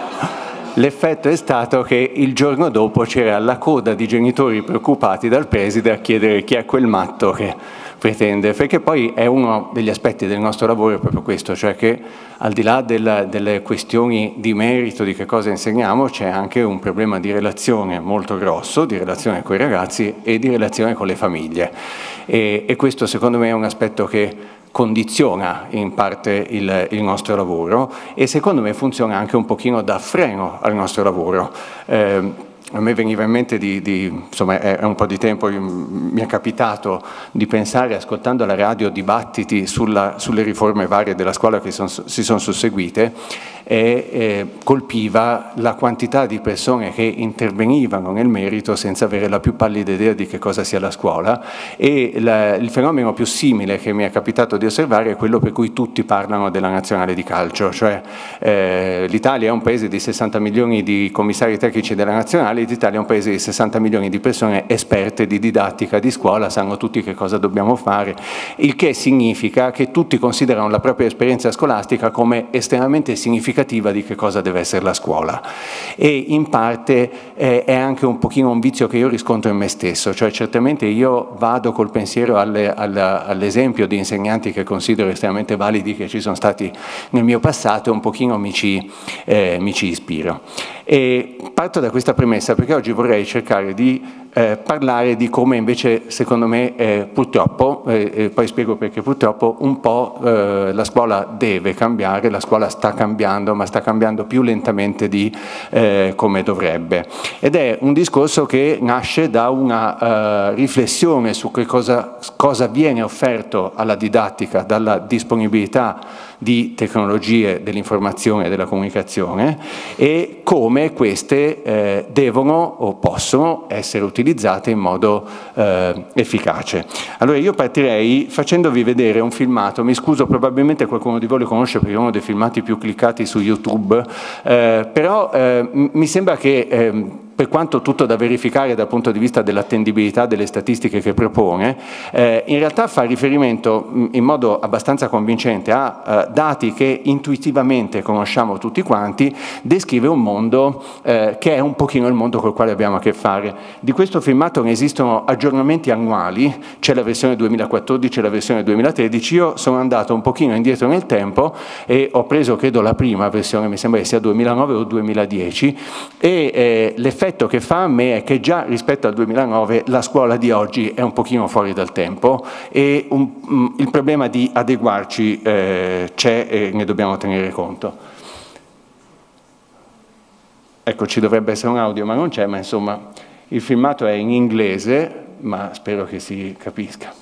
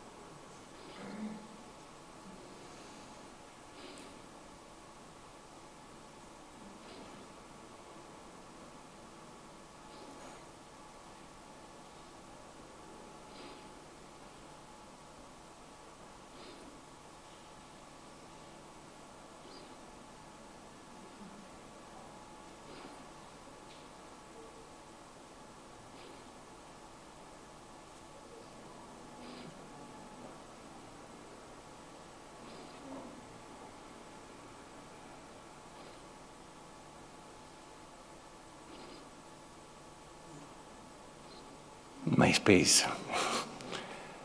Preistoria proprio.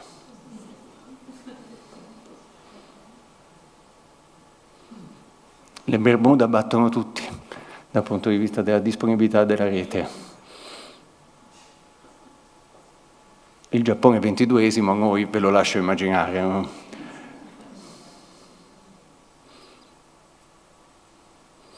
Ecco, queste sono le cose, qui è proprio il gusto americano per quantificare tutto quanto, però insomma 31 miliardi di ricerche su Google al mese, 4 anni prima 2,7 miliardi e prima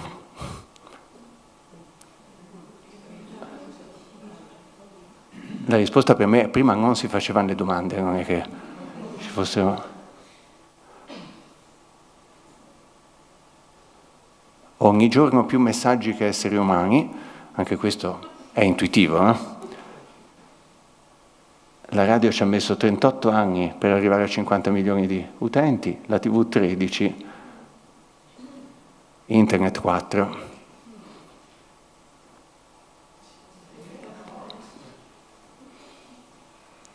Facebook 2.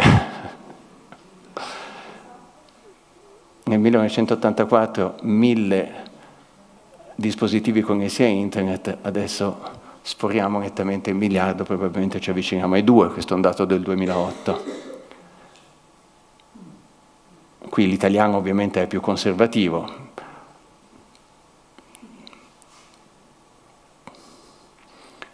Il New York Times in una settimana ha più informazioni di quanto nel XVIII secolo una persona avesse in tutta la vita,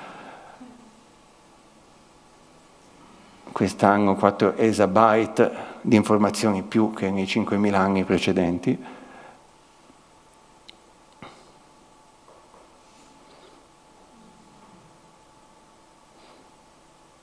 E questa è la cosa che a me colpisce di più, perché credo che sia profondamente vera. Chi si iscrive a un istituto tecnico studia il primo anno delle cose che al terzo anno sono già vecchie. I giapponesi che sono avanti a tutti stanno testando una linea, probabilmente adesso esiste, che è capace di fare 210 milioni di telefonate al secondo e si va avanti così.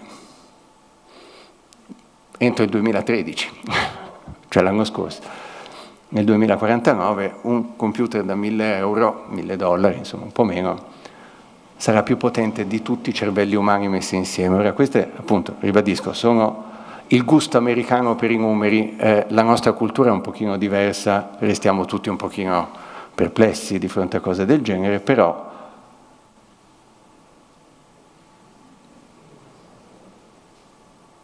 ecco.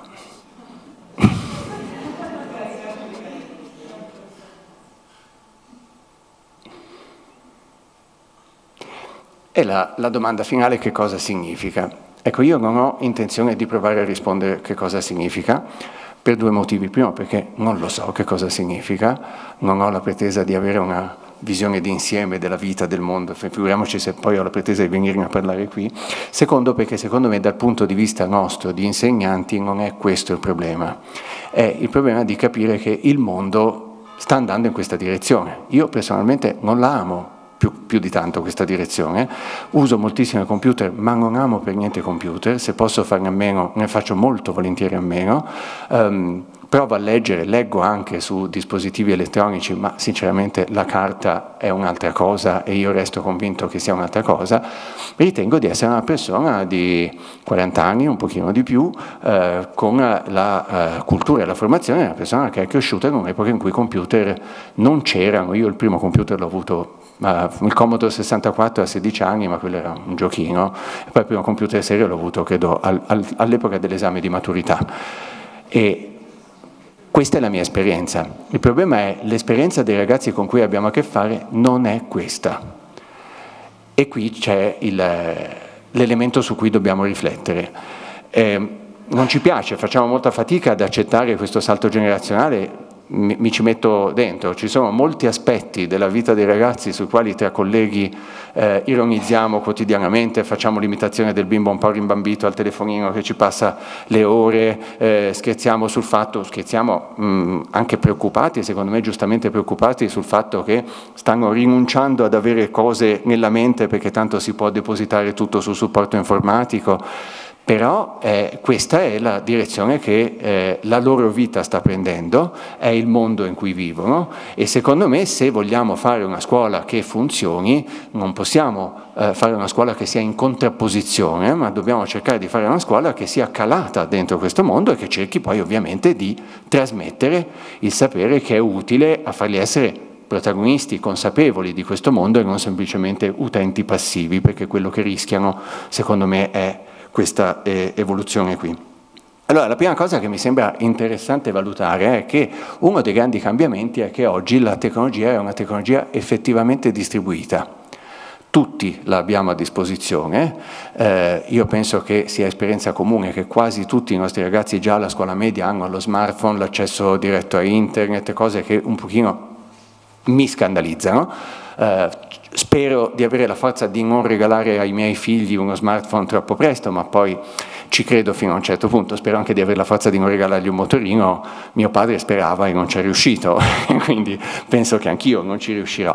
Però eh, l'aspetto positivo di questa tecnologia distribuita è che oggi esiste anche una creatività distribuita, cioè per esempio eh, sono molti i film prodotti a bassissimo costo, perché oggi per produrre un film basta una telecamerina che può costare una cinquantina di euro, un computer a basso costo e su internet si trova tutto il necessario per fare un prodotto che non è un prodotto artigianale, ma un prodotto anche da un punto di vista professionale completo, con gli effetti speciali che deve avere, con tutto quanto.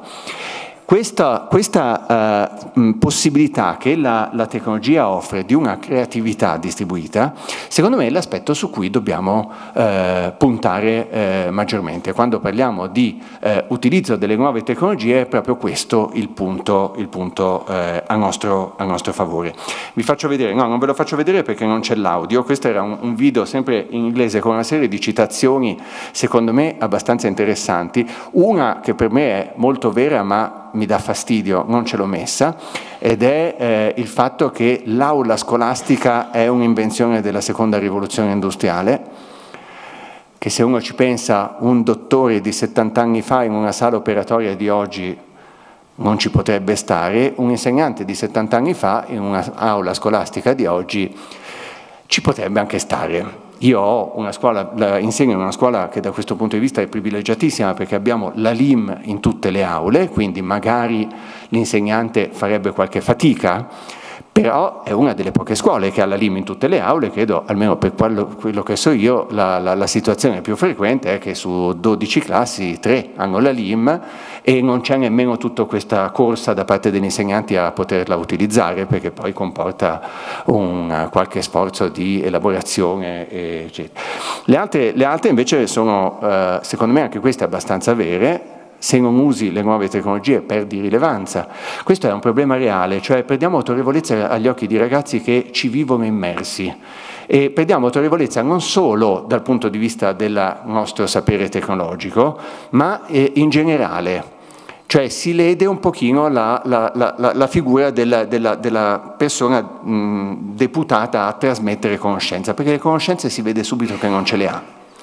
Seconda, seconda citazione è dobbiamo esistere nello spazio in cui esistono gli studenti. Quindi fare uno sforzo di comprensione della loro cultura che magari non è esattamente una cultura, non è esattamente quello che intendiamo noi per cultura, però è il mondo all'interno del quale vivono. Sono esposti a un bombardamento di informazioni impressionanti, molto superiore a quello, cioè voglio dire, io ho fatto la scuola media in un'epoca in cui non c'era internet, non c'erano i computer e la scuola era il luogo deputato alla trasmissione del sapere, il luogo dove io ricevevo informazioni, eh, poi se avevi una famiglia colta cioè avevi il vantaggio che magari qualcosina arrivava anche a casa, ma insomma poco più di questo, eh, adesso la scuola, la scuola, è uno dei posti, e forse neppure il principale, dove i ragazzi ricevono informazioni. Le subiscono le informazioni, noi dobbiamo aiutarli ad organizzarle, a gestirle, a selezionarle, a verificarle, però essendo consapevoli che loro sono esposti a un flusso continuo di informazioni. Eh, L'anno scorso, adesso purtroppo non l'ho ritrovato, ho, ho, ho, visto delle statistiche che dicevano che all'età di 7 anni un bimbo ha eh, già visto una media di un milione e mezzo di spot pubblicitari, eh, ha sentito, è, insomma, la, la dice lunga su come vivono, come crescono, anche, anche, dove si praticano politiche familiari di contenimento degli spazi destinati alla tv, eccetera. Ultima eh, citazione, e questa è quella che eh, per me è più significativa, devo, chiedermi se sto preparando gli studenti per la mia epoca o se li sto preparando per la loro. E io temo che spesso la risposta sia per la mia, non per la loro. Allora, vediamo come si può oggi ragionare uh, sull'uso delle nuove tecnologie. Quando parlo di nuove tecnologie penso in questa sede almeno essenzialmente a internet. Eh, esiste poi tutto ciò che ha a che fare con l'uso dell'iPad o comunque dei tablet, che è un argomento un pochino diverso che mi scuserete qui trascuro perché eh, avevo un po' paura dei problemi tecnici di collegare l'iPad alla, alla LIM, poi ho un'ora di tempo e quindi devo, devo, contenermi. Allora, quando è nata Internet, eh, il primo rapporto che abbiamo avuto con Internet è stato quello di, guarda che incredibile miniera di informazioni, andiamo e troviamole. Cioè, la prima fruizione di Internet è quella della consultazione, che è una fruizione tuttora estremamente valida. È probabilmente l'utilità principale dell'avere il collegamento Internet in classe. Eh, io credo poco, sinceramente mi, mi, sbilancio un pochino, la LIM secondo me è un po' inutile. Cioè questa, questa spesa ehm, eccessiva che sosteniamo per poter scrivere elettronicamente eh, basterebbe un videoproiettore, un collegamento internet e scriviamo al computer che bisogno abbiamo, però c'è questo strumento, questo arriva, eh, mh, è chiarissimo che non è che l'alternativa sarebbe il videoproiettore, l'alternativa sarebbe nulla, quindi ben venga la LIM, però uno degli utilizzi che se ne fa maggiormente e secondo me bene è quello appunto di utilizzare internet come strumento di consultazione ci si vanno a cercare notizie. Cosa fa l'insegnante? L'insegnante trova egli stesso contenuti sul web, l'insegnante cerca di organizzare eh, preventivamente dei percorsi sul web da proporre ai ragazzi in modo da guidarli nella appunto, opera di consultazione e aiutarli a capire che bisogna per, per esempio mettere in discussione l'attendibilità delle fonti perché eh, in questo l'uomo grandi passi avanti non l'ha fatto, è sempre disposto a eh, instaurare con la fonte scritta un rapporto di tipo medievale, no? l'autoritas è scritta e quindi eh, è, è, vera. E, e invece eh, su internet sappiamo bene che non è affatto vera, non è affatto detto che sia vera, bisogna quantomeno abituarli ad incrociare le informazioni, a cercare delle conferme in altri luoghi. Cosa fanno i ragazzi? Trovano contenuti sul web, e io qui facevo l'esempio di Wikipedia, facevo l'esempio del, del, del, sito della Treccani, che è un sito bellissimo, eh, dove si trova per intero il vocabolario della lingua italiana eh, e dove si trovano tutte le enciclopedie, per intero compreso il biografico degli italiani, quindi è una fonte ricchissima di informazioni. Eh, salto per adesso, poi se ci avanza tempo andiamo anche un attimo a vedere come si può usare il sito della Treccani. Quindi diciamo, primo approccio, quello più eh, vecchio, quello originario di Internet, è un approccio di tipo consultazione. Ce n'è un altro che è un passo ulteriore, che è quello che viene chiamato in gergo il web 2.0, cioè il fatto che a un certo punto Internet ha smesso di essere fatto solo di portali di informazione, è diventato un luogo dove si poteva interagire. E questa possibilità dell'interazione, secondo me, la dobbiamo e la possiamo sfruttare eh, moltissimo e in modo anche estremamente produttivo. Mi sono dimenticato di chiedervi, per caso, spero di sì, avete degli strumenti che siano connessi a internet in questo momento? Qualche telefonino, qualcosina, okay, perché volevo fare una dimostrazione di eh, siti internet che però richiedono se è possibile che qualcuno si colleghi in modo che eh, si vada avanti. Allora, dal punto di vista dell'interazione cosa possono fare gli insegnanti? Ma per esempio reperiscono, ci sono tante esercitazioni online, l'interazione è proprio appunto il ragazzo fa l'esercitazione online, l'insegnante la può trovare, l'insegnante la può preparare. E qui l'esempio principale sono le eh, tantissime piattaforme eh, predisposte apposta per fini educativi, eh, io ne cito tre ma ce ne sono molte altre, Edmodo, Docebo e Moodle. Eh, la differenza è che Moodle non è una piattaforma cloud, cioè eh, va installata su un server e quindi richiede delle competenze tecniche un pochino più eh, avanzate. Edmodo e Docebo invece basta andare sul sito di Edmodo, sito di Docebo, ci si iscrive e si attiva uno spazio che diventa una sorta di classe virtuale. E sono degli strumenti molto interessanti, hanno secondo me, dei limiti che sono eh, concettualmente già un pochino superati, perché si tratta con le piattaforme di trasferire sul web l'attività che si fa in classe eh, per cui finisce che ci metto delle cose scritte da me che i ragazzi si devono studiare, poi i ragazzi fanno gli esercizi, ma eh, si resta all'interno di un modello didattico di, di questo tipo, molto valido. Eh, introduco qui anche eh, quello che secondo me è un elemento di forza, cioè il fatto che l'uso di questi strumenti qua permette di superare la dimensione della classe, eh, diventa possibile per i ragazzi avere un contatto magari non immediato, ma insomma con l'insegnante anche quando sono a casa.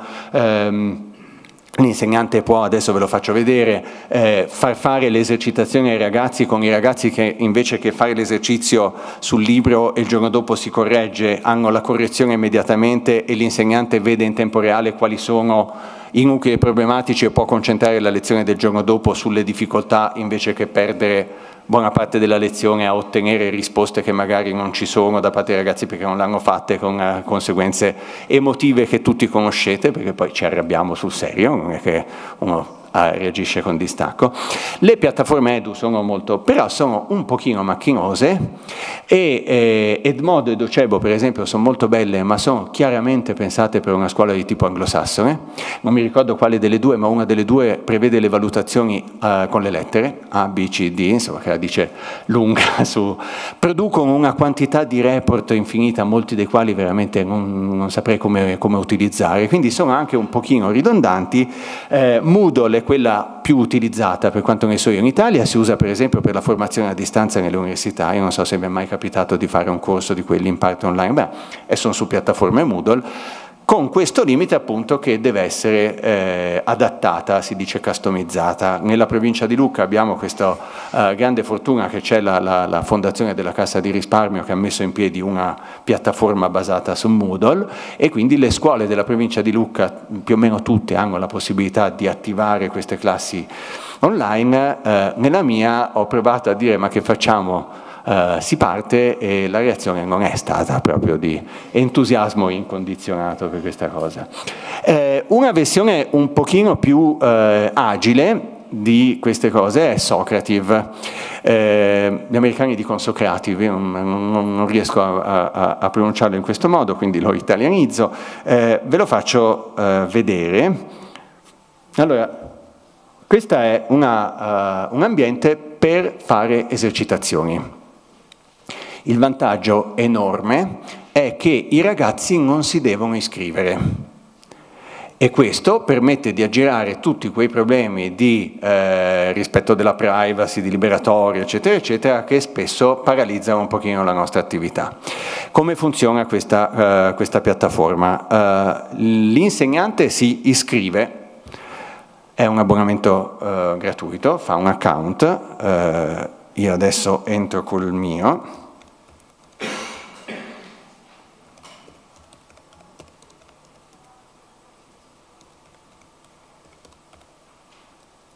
Scusate, ho sbagliato la passa.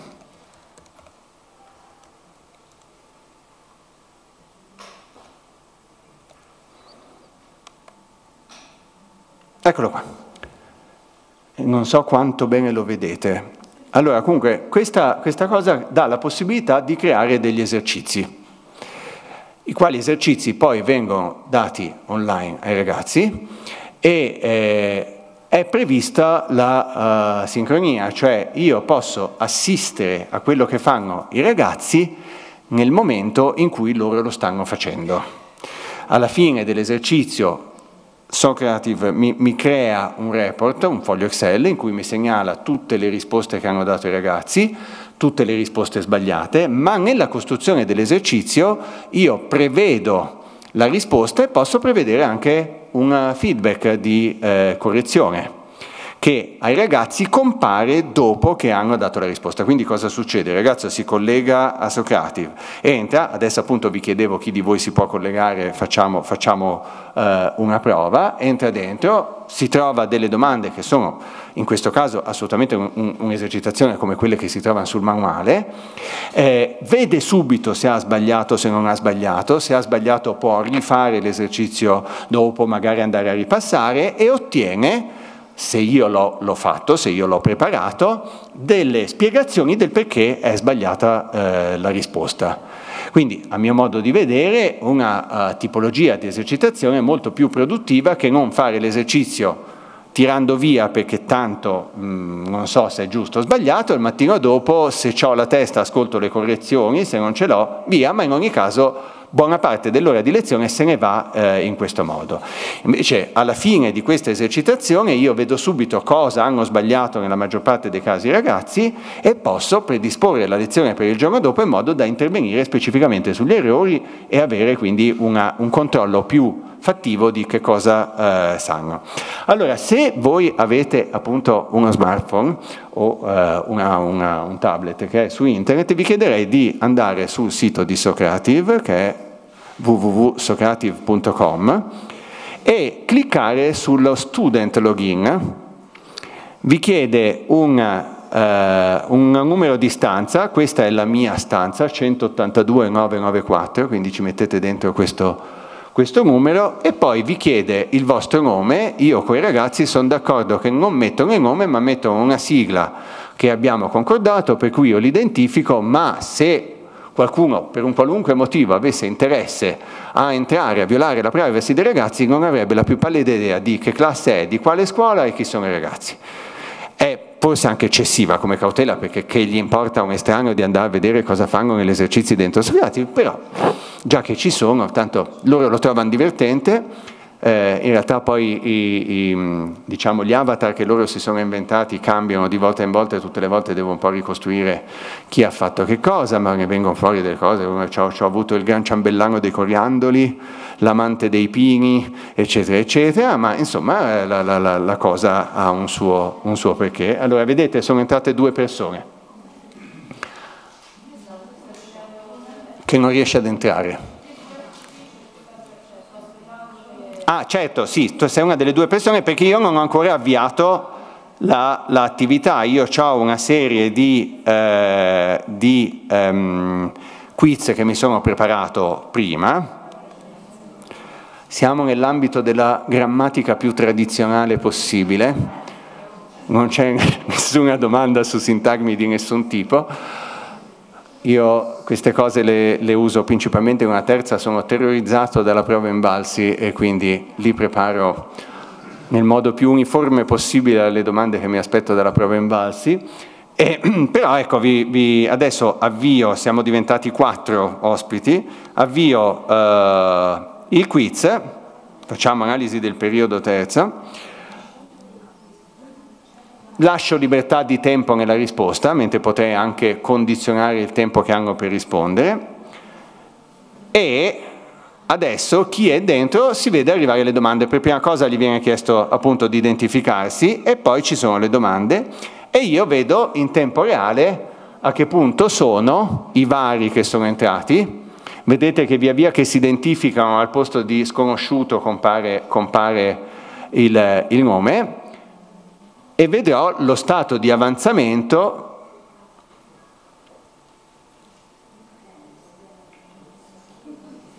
Ecco, abbiamo Cristina, grazie Cristina, abbiamo SC, siamo diventati 6 nel frattempo.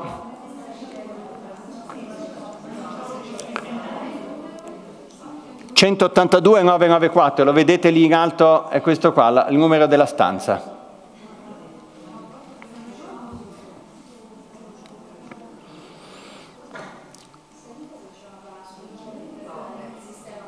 Non la so, non la so, mi dispiace. Credo che la squadra normale sia un po' gelosa del sistema.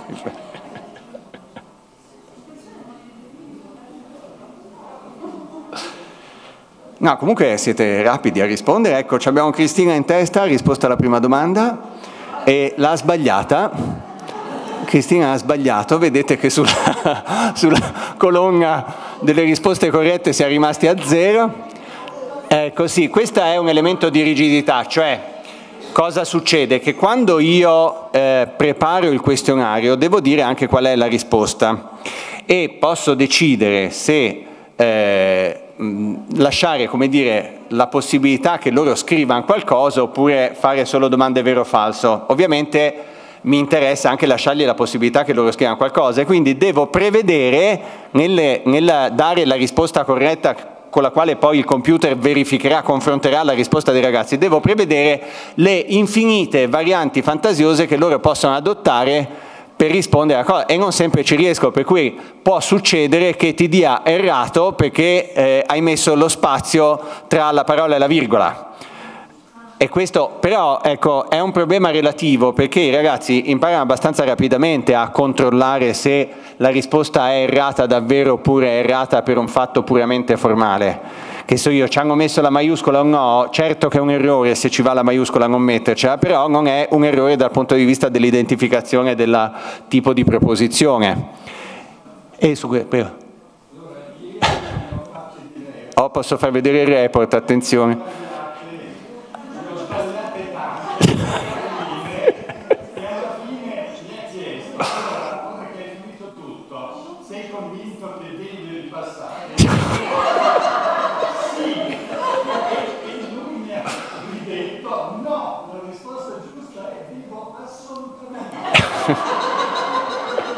Vabbè, questo è perché io mi diverto, probabilmente vengo accusato in famiglia di imparare troppo dai ragazzi e quindi poi di avere un umorismo che è da scuola media e effettivamente può darsi che sia abbastanza vero. La seconda, perfetto, perfetto, siamo molto... No, ma insomma abbiamo altri... Qui abbiamo qualcuno ha risposto a quattro, cioè tre domande e non è ancora azzeccata una, ma insomma, però vedete bene che dipende, questa è veramente la rigidità del sistema. C'è poco da fare.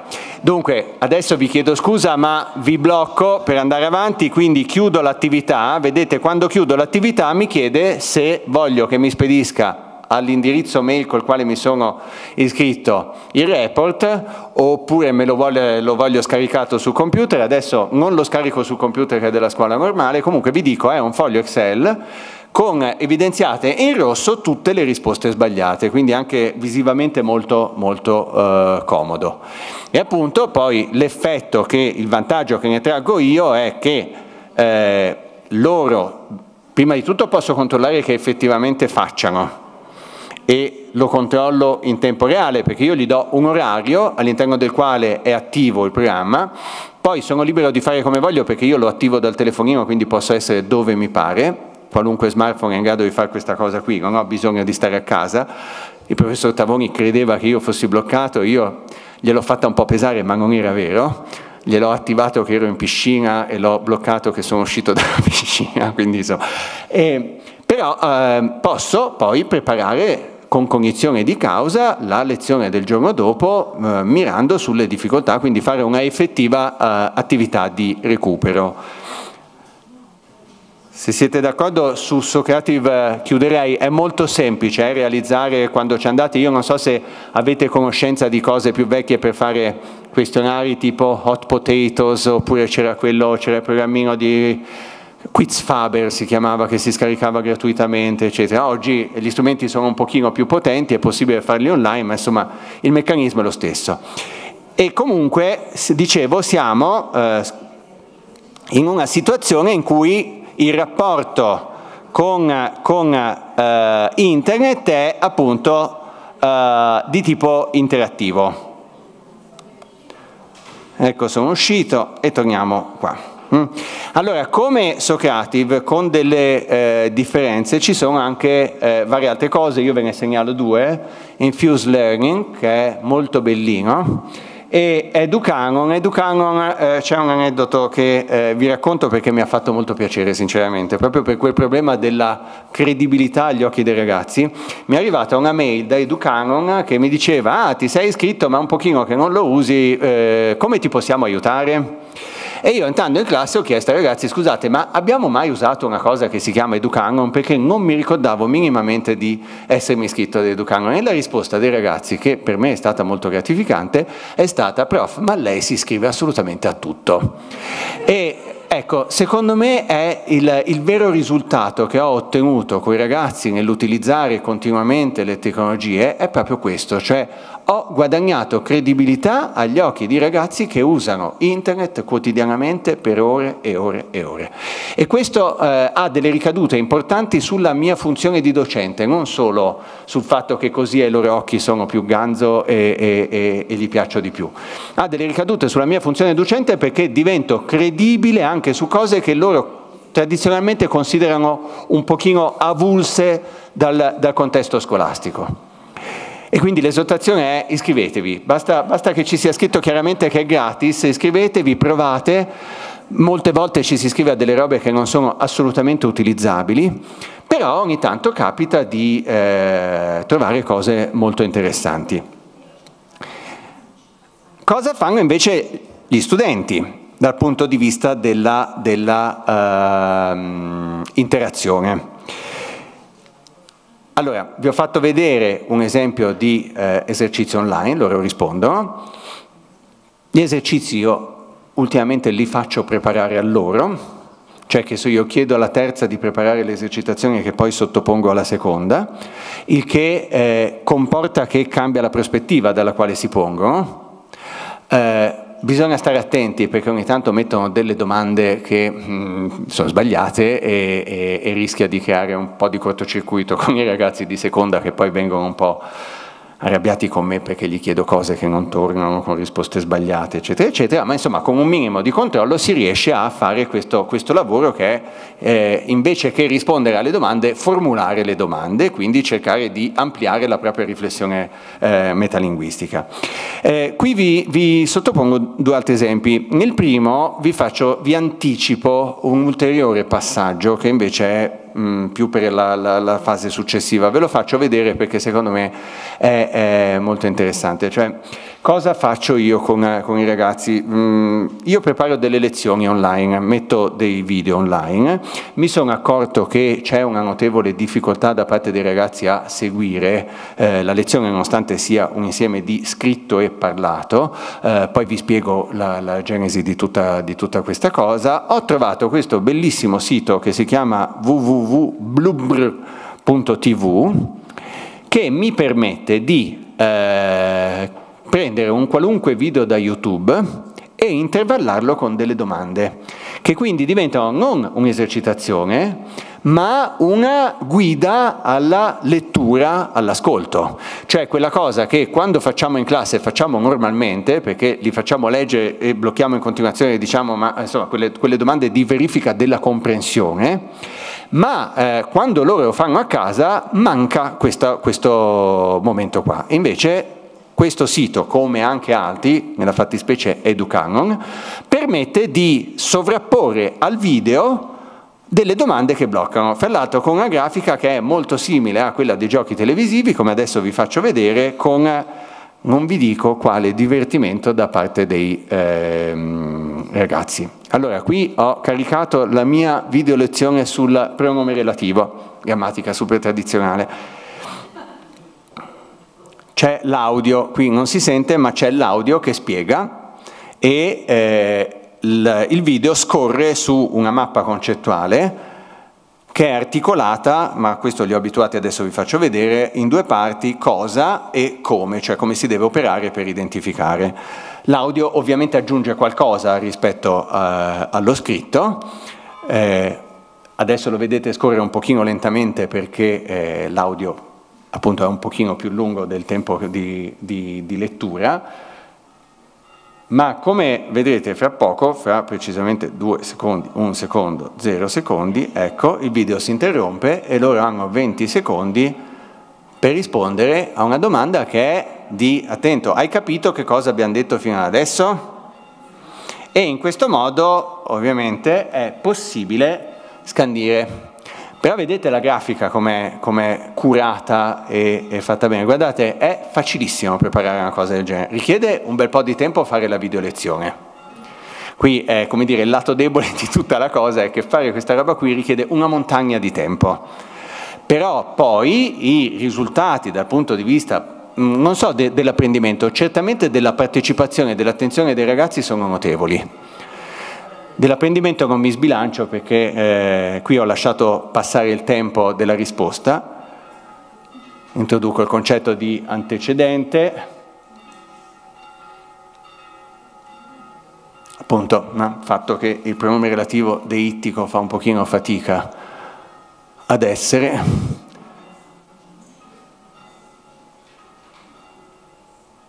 Allora, anche qui la, la cosa è estremamente, estremamente, lo blocco perché sennò eh, sforiamo un po' i tempi, la cosa è estremamente intuitiva, facile, si tratta proprio di inserire, uno si iscrive, è gratis, ci si iscrive, eh, poi si dice crea un nuovo questionario, ti apre una mascherina nella quale devi inserire l'indirizzo del video YouTube e poi è possibile scorrere il video, c'è proprio una barra di scorrimento, lo blocchi dove vuoi e ci inserisci la domanda. È una cosa il video è, sì, la parte un pochino più complicatina, dunque il video è uno screencast, cioè io ho fatto una mappa concettuale con un qualunque programma per la mappa concettuale, poi l'ho caricata su Prezi perché Prezi mi permette di visualizzare le singole sezioni e poi crea movimento.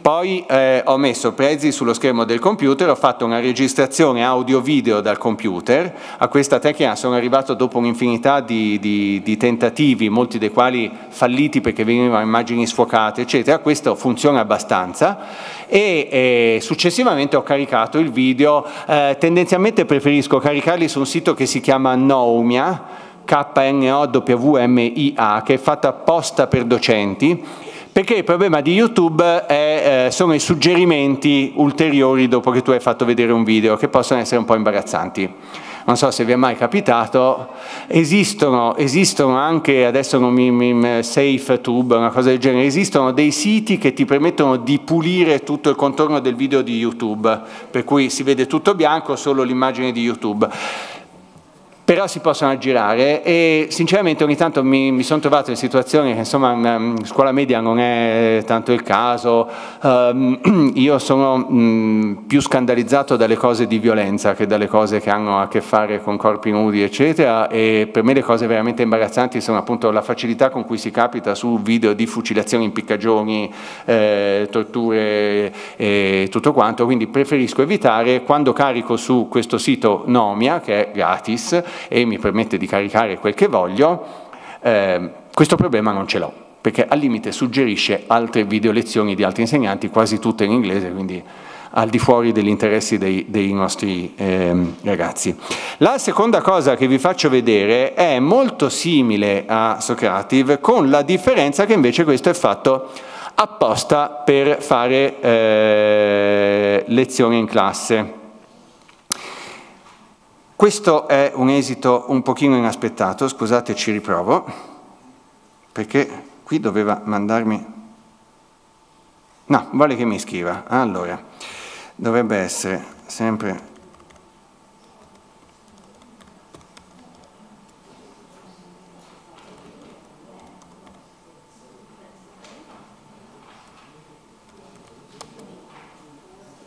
Ale.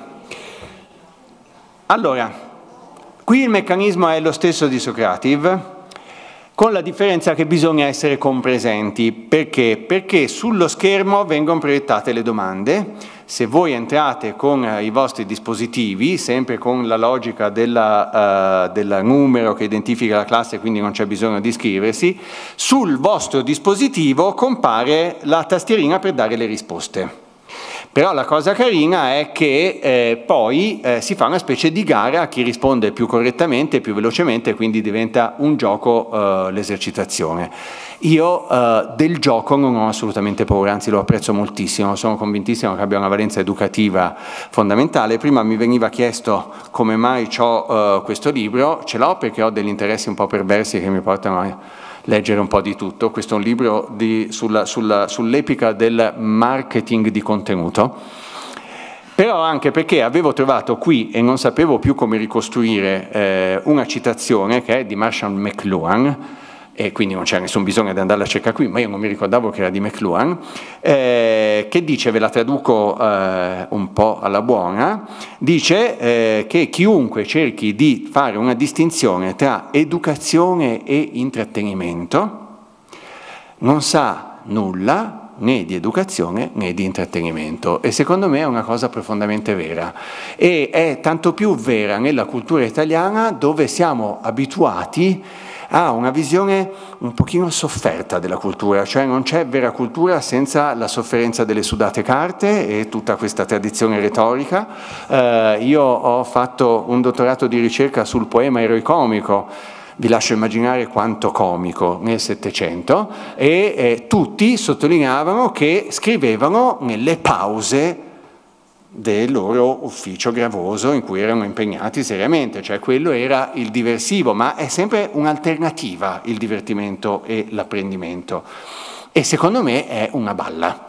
Non è affatto vero, anzi, anzi eh, molti di noi hanno sperimentato che quando si sono divertiti a imparare hanno imparato molto meglio e io credo che si possa anche ottenere dal professor Tavoni la confessione che si è divertito a fare tutto il percorso di studi che ha fatto per, eh, per arrivare ad essere il professor Tavoni l'avesse fatto controvoglia, annoiandosi come noi pretenderemmo, come noi italiani pretenderemmo che la cultura fosse di difficile accesso, elitaria, eccetera, secondo me eh, forse non avremmo avuto la lezione che abbiamo avuto poco fa eh, dal professor Tavoni. Secondo me, fra l'altro, nella grammatica del professor Tavoni questa cosa si sente, cioè il gusto dell'apprendimento, non la noia dell'apprendimento. Quindi che si giochi a scuola o perché no, anzi molto bene, ovviamente eh, cercando di eh, non cedere alla tendenza dei nostri ragazzi a trasformare tutto quanto in una cosa eh, per la quale eh, almeno in Pisano c'è un termine molto preciso, non, non lo dico per eh, come dire, pudore, eh, ma ci siamo capiti. Allora qui avvio l'esercitazione che ho preparato. Eh, dunque mi scuserete, può darsi che ci siano delle domande la cui risposta è sbagliata, perché l'ho fatta ieri sera per eh, gioco con eh, eh, unidirezionale col professore che mi aveva mandato i suoi schemi e sosteneva che non era possibile fare una cosa realmente sovrapposta, quindi questa è un'esercitazione in cui ci sono cinque domande e si parla di sintagma, è la prima volta che ne parlo. Anche qua, dunque, se volete partecipare all'esercitazione andate su kahoot.it e inserite il numero 6482.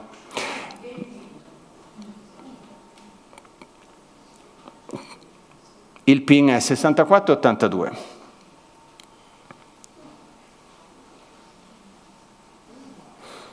Vi chiede un nome, metteteci quello che volete ovviamente, via via che entrate dovrebbe comparire, ecco, abbiamo Sonia, vedete? Abbiamo solo Sonia, adesso mi metto a fare il banditore d'asta. C'è qualcun altro? Abbiamo anche Cri, che sospetto essere Cristina, ma non... Sonia Cri è chiuso? Dai gli ultimi due biglietti? Parto? Ci fermiamo qua? Allora, 64-82. Qui la situazione in classe ovviamente se avete la fortuna di insegnare in una scuola, io dico fortuna ma so che per molti non lo è, di insegnare in una scuola in cui ci sono gli iPad, progetti, eh, a, a, a Lucca c'è una scuola con gli iPad, e gli sono arrivati un po' tra capo e collo, non sono per niente felici di averli, perché? Perché c'è un problema di prima prepararsi ad utilizzarli, ovviamente solo lo strumento è un pasticcio, se uno pensa di usare i libri tradizionali con l'iPad impazzisce, però ecco, immaginatevi una situazione in cui avete un laboratorio di informatica come so che c'è in una scuola di Viareggio dove insegna una nostra collega dove insegnavo prima io, oppure una classe con la possibilità di avere tre o quattro computer, è facile costruirci sopra delle gare con l'effetto di una maggiore attenzione da parte dei ragazzi, perché quando si è in competizione ci si distrae un po' meno. E si parte, arrivano le domande, adesso voi vedete la domanda la leggete tutti qui.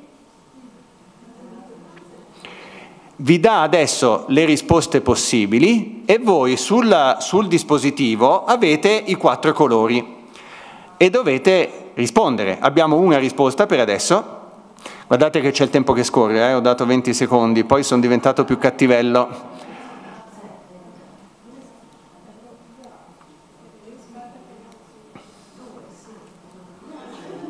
Abbiamo solo due persone che hanno risposto. hanno risposto quella che io credo essere la risposta giusta, ma, ma un po' mi tremono i polsi. Eh? Ti ha detto che hai sbagliato, però non lo segnala come errore qua, non... non... Eh, no, probabilmente ti ha preso tra, tra i due giusti. Andiamo, ecco, guardate, abbiamo no, Sara, Paola e Cri risultano non aver risposto, Joe e Sonia, Joe è stata la più veloce, quindi do per scontato che sia lei, ma se è lui mi chiedo scusa, eh, e quindi ha il punteggio maggiore e poi si va uh, avanti. Qui ho dato, se non sbaglio, 10 secondi.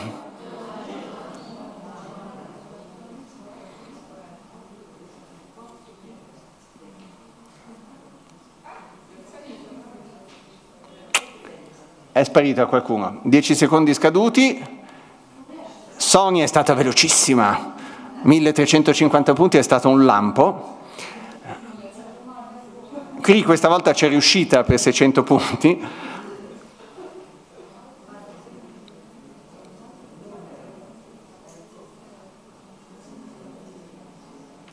Qui c'era eh, la spiegazione del professore, ma no, non l'avete avuta, quindi affari vostri.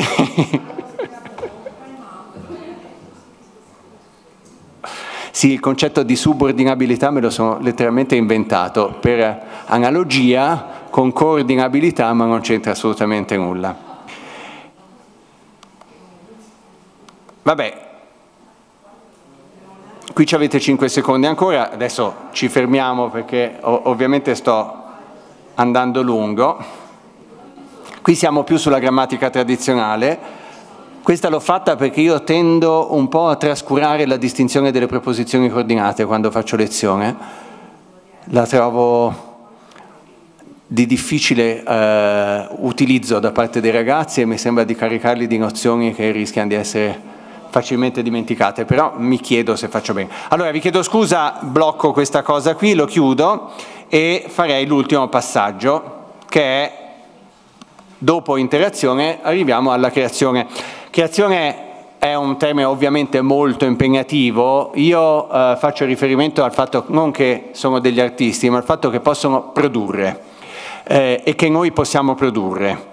Noi possiamo preparare le lezioni, vi ho fatto vedere una, un esempio no, di, di, mappa concettuale con spiegazione audio, adesso non ve ne faccio vedere altri perché qui l'idea, eh, diciamo questa, questa, cosa di fare le lezioni nasce dal fatto che ho degli alunni BES di, di varia natura in classe, quindi DSA ma non solo DSA, in particolare ho una situazione di una difficoltà di controllo del movimento oculare per cui l'alunno in questione non può leggere e il rischio di tagliarlo fuori se uno non li mette tutto nel formato audio è gigantesco, già così è piuttosto penalizzante, quindi è finito che tutte le cose che faccio in classe le traduco. All'inizio facevo eh, file mp3 solo per eh, l'alunno in questione, poi glieli trasmettevo via mail, in realtà avevamo uno spazio su Dropbox insieme, eh, poi ho deciso che però questa cosa la faceva sentire, faceva sentire l'alunno eh, molto più diverso di quanto era necessario che si sentisse dagli altri, quindi mi sono messo a, uh, mi sono creato il mio blog, ho messo le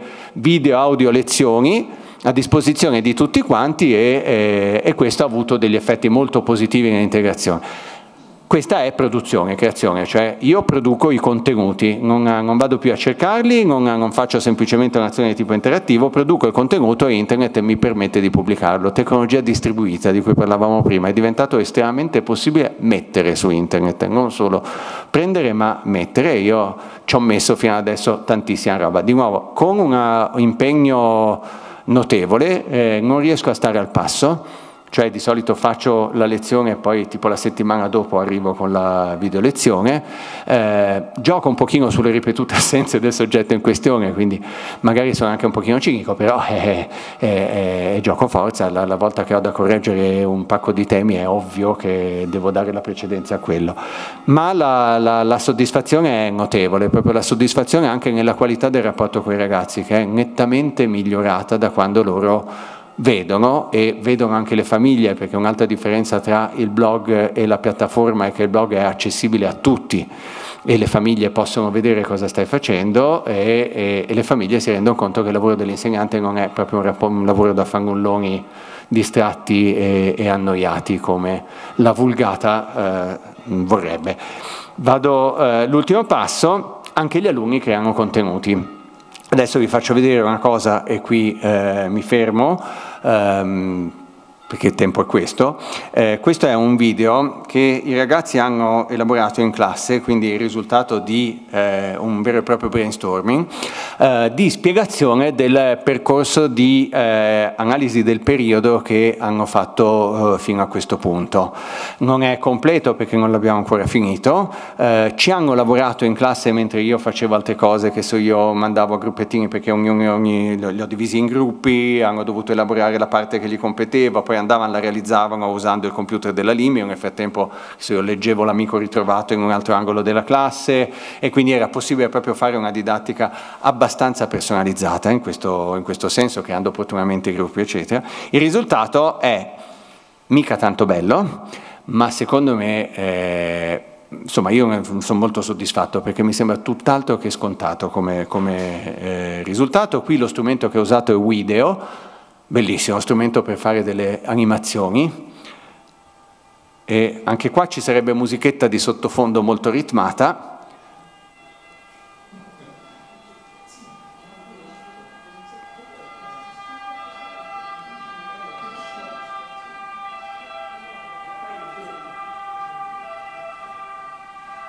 Quel generalmente l'ho voluto io perché insomma avete in mente Foscolo e gli incipit di Foscolo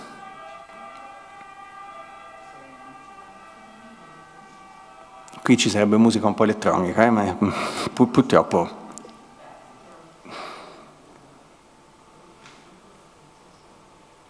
L'elaborazione è loro, a me sembra molto interessante questo fatto, che si sono dovuti sforzare di esplicitare che cosa, cioè non semplicemente saper riconoscere che può essere un esercizio piuttosto meccanico, ma provare a spiegare loro con strumenti che possono essere certamente l'utilizzo del manuale, ma magari adattando la spiegazione alla situazione del video. Poi vedete si sono divertiti, hanno cambiato tutti gli sfondi, c'è un gran pasticcio per certi versi, però questa cosa non so perché, ma a loro piace tantissimo. Babbo Natale che scappa inseguito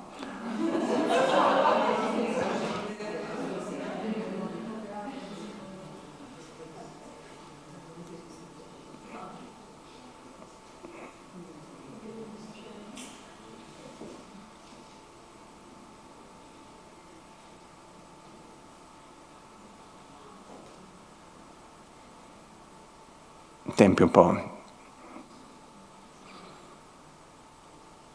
Qui non hanno resistito. Eccola.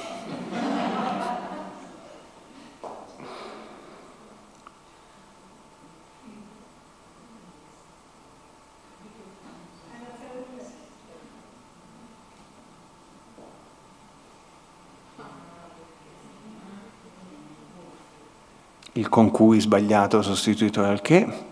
Questo carinissimo secondo me.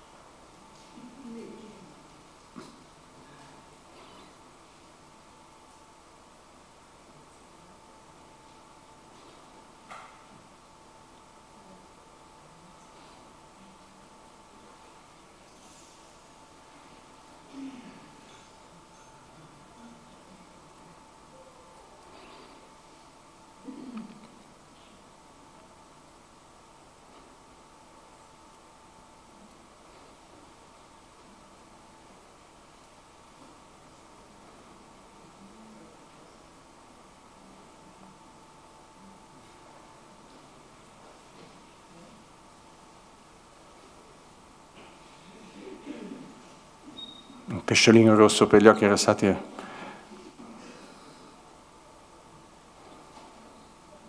Chi gli è venuta pure un po' storta. Le domande non riesco a sconfiggerle.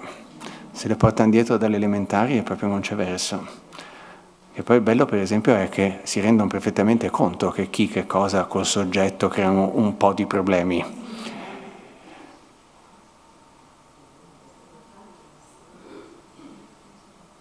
Vabbè, allora, concludo.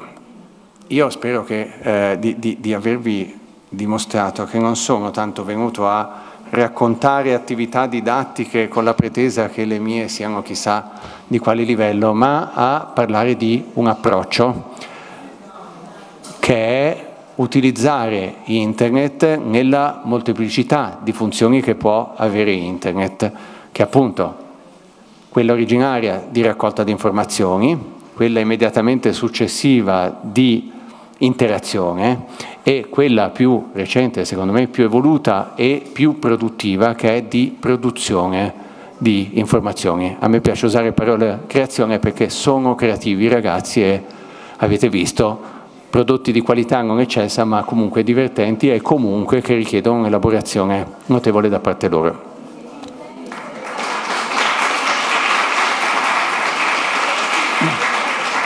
Il tempo?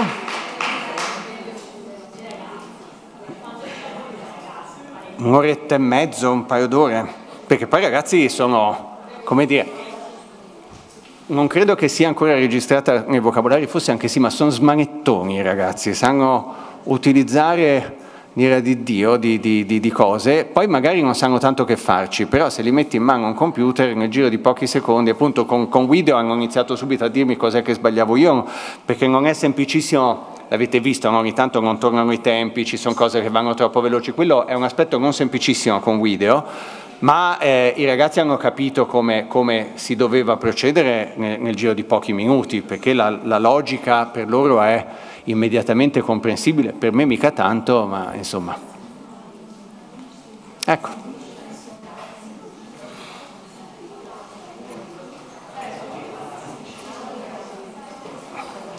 Sono stato un po' lungo.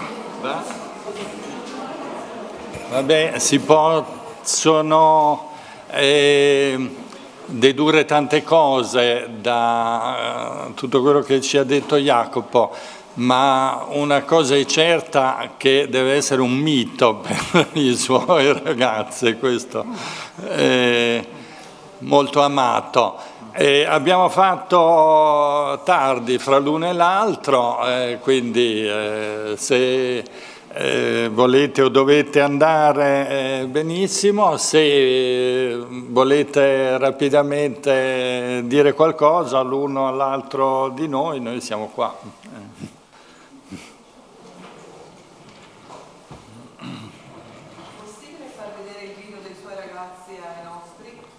Ah, no, sì, allora, eh, il, quel video lì non lo abbiamo, siccome non è concluso non c'è ancora, però io eh, vi faccio vedere cos'è, perché poi per l'altro ora, oggi si parla di, di, sintassi e quindi a questo mi sono limitato, ma il blog della terza è, è un blog sul quale io faccio eh, storia, geografia, italiano e c'è un pochino di tutto e appena il video sarà, sarà concluso lo metteremo sicuramente eh, lì, lì, sopra. Dopodiché ribadisco, secondo me il, il problema non è l'esempio da, da, cioè io mm, lo ringrazio professore, però non credo affatto di essere un prof particolarmente amato, anzi, perché ho dei limiti caratteriali piuttosto pronunciati e sono facilmente un po' insofferente verso gli aspetti più, mh, caratteristici dell'età uh, dei ragazzi con cui abbiamo a che fare e, e quindi ci entro facilmente un po' in contrasto. E, e quindi non è, io non, veramente non ho la pretesa di venire qui a proporvi eh, delle attività didattiche, l'avete visto, fra l'altro ve, ve, le ho fatte vedere senza parlare di tutto l'elemento della progettazione, non, non, sono attività complete, sono solo aspetti dell'attività, perché per me quello che è interessante e sul quale io sto eh, ragionando moltissimo, appunto mi sembra interessante condividere con voi queste riflessioni, è proprio il, eh, un percorso di evoluzione nell'utilizzo delle tecnologie, cioè io come molti di voi immagino sono passato attraverso vari cicli di formazione alle nuove tecnologie che erano piuttosto ripetitivi e non sempre chiaramente utilizzabili nella classe, vuoi per mancanza di strumenti, vuoi per eh, mancanza di effettiva utilità delle cose che ci venivano insegnate, cioè so io, la formazione su come si usa un foglio Excel è molto bellina, però come si usa un foglio Excel in classe facendo lezione? E quello è un altro discorso, cioè io personalmente lo uso in continuazione, ci faccio le medie, tutte le cose quando ci sono gli scrutini, eh, però in classe che faccio? Gli faccio fare un foglio Excel per italiano? E, e però ho passato del tempo a, a aggiornarmi. Allora secondo me il, il principio eh, è capire cosa sto cercando e cercare gli strumenti utili, non partire come se dovessi imparare in astratto, diventare un esperto di informatica eh, o informatica umanistica e poi dopo de de decidere cosa faccio, cioè eh, organizzare l'attività didattica e conseguentemente reperire, sapendo che ci sono e quindi magari avendo un po' di, di, di, accortezza nel cercare, gli strumenti online che mi possono eh, servire eh, a, a, allo scopo. Ce ne sono una varietà incredibile, vi segnalo per esempio un blog bellissimo americano che si chiama uh, Free Technology for Teachers, dove il for è scritto 4 con questo gusto americano di cui parlava il professor Franceschini il primo giorno, no? che giocano su, sulla, sulle assonanze. Free Technology for Teachers è un blog di tutte risorse per la didattica, se ne trovano a, a tonnellate e sono molto spesso molto interessanti. Eh, per, per, per, fare un esempio, io ho trovato su questo blog una mappa eh, del mondo con eh, suoni di ambienti naturali di tutto il mondo, che è una cosa di una bellezza che vi, vi, vi invito a provare, l'ho, linkata sul, sul, blog, e uno va sul, appunto, che so io, sul Brasile, c'è un planisfero, va sul Brasile, c'è l'iconcina, fa clic e ti fa sentire la scimmia della foresta amazzonica e, e senti il suo. Ed è un modo di avvicinare i ragazzi alla, uh, insomma, alla geografia per quella cosa per cui può aver senso insegnare la geografia, non le province, le regioni, tutte a memoria come facevamo noi, ma insomma conoscenza del mondo, capacità di orientarsi nel mondo e curiosità per il mondo, io credo che sarebbe un grande risultato di un insegnante di scuola media di geografia se ottenesse che i ragazzi vanno via avendo voglia di viaggiare e magari si organizzano anche per farlo. E quindi per eh, ampliare i propri orizzonti. Lo stesso vale per la didattica dell'italiano. Infatti eh, la, la, precisazione che ha fatto il professor Tavoni all'inizio, cioè eh, è vero, io vi ho fatto vedere delle esercitazioni che sono di grammatica tradizionale, però il problema non è il contenuto dell'esercitazione, perché quello poi ognuno lo fa sulla base del proprio stile di, di insegnamento, eccetera. Il problema è l'idea che esistono questi strumenti e che questi strumenti possono avere un impatto tale sulla didattica da cambiarla profondamente. Eh, per esempio, permettendo di dare una risposta a quella domanda che secondo me è abbastanza senza risposta, cioè cosa vuol dire personalizzazione, perché un conto è in classe, ma se io lo faccio a casa, che so io l'esercitazione su Socrates la posso fare ai due o tre alunni che hanno bisogno di un'attività di recupero, cosa che in classe con una classe di 28 elementi scalmanati lo sapete tutti, non è, non è, certo una cosa tanto fattibile. E, e, e così via, appunto, integrazione e la, la, la, la video-audio lezione permette di eh, fare una, un supporto all'attività didattica che va incontro al bisogno del, del, dell'alunno DSA con la certificazione di disgrafia, di dislessia, scusatemi, ma anche dell'alunno BES con una situazione di disagio per cui in casa nessuno gli, gli, gli spiega niente perché magari la famiglia non ce l'ha, eccetera, sono situazioni che sono ahimè molto frequenti e quindi dà una risposta al problema della integrazione dei bisogni educativi speciali. Le mappe concettuali, io eh, uno dei punti di partenza è eh, nella legge 170 alla quale fa riferimento, alla quale rinvia anche la circolare sui BES, si parla delle mappe concettuali come strumento compensativo, che a me una cosa che colpisce è il fatto, poi mi zittisco, è il fatto che quando parliamo di queste situazioni qui è facile che si finisca al problema di come gli si fa fare la verifica e gli strumenti compensativi e dispensativi sono compensazione e dispensa della verifica, non del momento della didattica. Cioè, eh, appunto, hanno più tempo, poi pensiamo subito tutti quanti all'esame, allora l'esame come fa a fare la prova in bassi, e che bisogna preparare la prova speciale oppure no, eccetera, eccetera, ma di didattica del bisogno educativo speciale non si parla minimamente.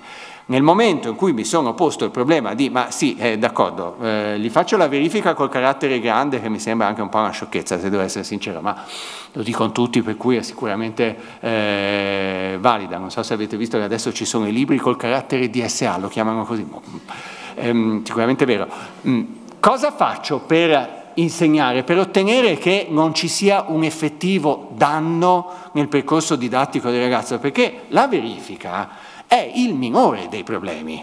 Tant'è vero che tutti quanti abbiamo esperienza del fatto che prima che ci fosse la normativa sui DSA le situazioni di disagio le portavamo avanti allo stesso modo non ci hanno insegnato nulla da questo punto di vista, mentre invece sarebbe molto interessante se da una competenza specialistica che si sta mh, ponendo adesso il problema di comunicare con noi corpo insegnante, per cui ci viene spiegato con un pochino più di precisione quali sono le problematiche della dislessia, della disgrafia, della discalculia, fatto che la discalculia da sola non si trova mai, quindi abbiamo un pochino più idea di che cos'è il problema, ecco da questa maggiore conoscenza del problema è utile cercare di desumere una modalità didattica che permetta di, nei limiti del possibile, compensare il disagio nel vero senso della parola, che non è creare il salvacondotto e accettare l'inerzia che si crea nella scuola per cui quando c'è una certificazione si va avanti puliti senza nessun problema. Magari lo posso anche bocciare l'alunno DSA, perché alle volte diventa una bella scusa fra l'altro quella del DSA. Però prima devo essermi posto il problema di aiutarlo ad avere un percorso scolastico il più possibile regolare. E allora gli strumenti qui diventano essenziali e diventa importantissimo il fatto di ribaltare il rapporto tecnologia-attività didattica, per cui la tecnologia non è lo scopo finale dell'attività didattica, ma è semmai un momento, nemmeno il punto di partenza, un momento di passaggio all'interno della mia eh, progettazione delle, delle attività didattiche. Appunto, reperisco e faccio. Ci metto dentro il fatto che fanno anche loro. E questo mi sembra la, l'aspetto più innovativo e più, più interessante. Io mm, adesso sto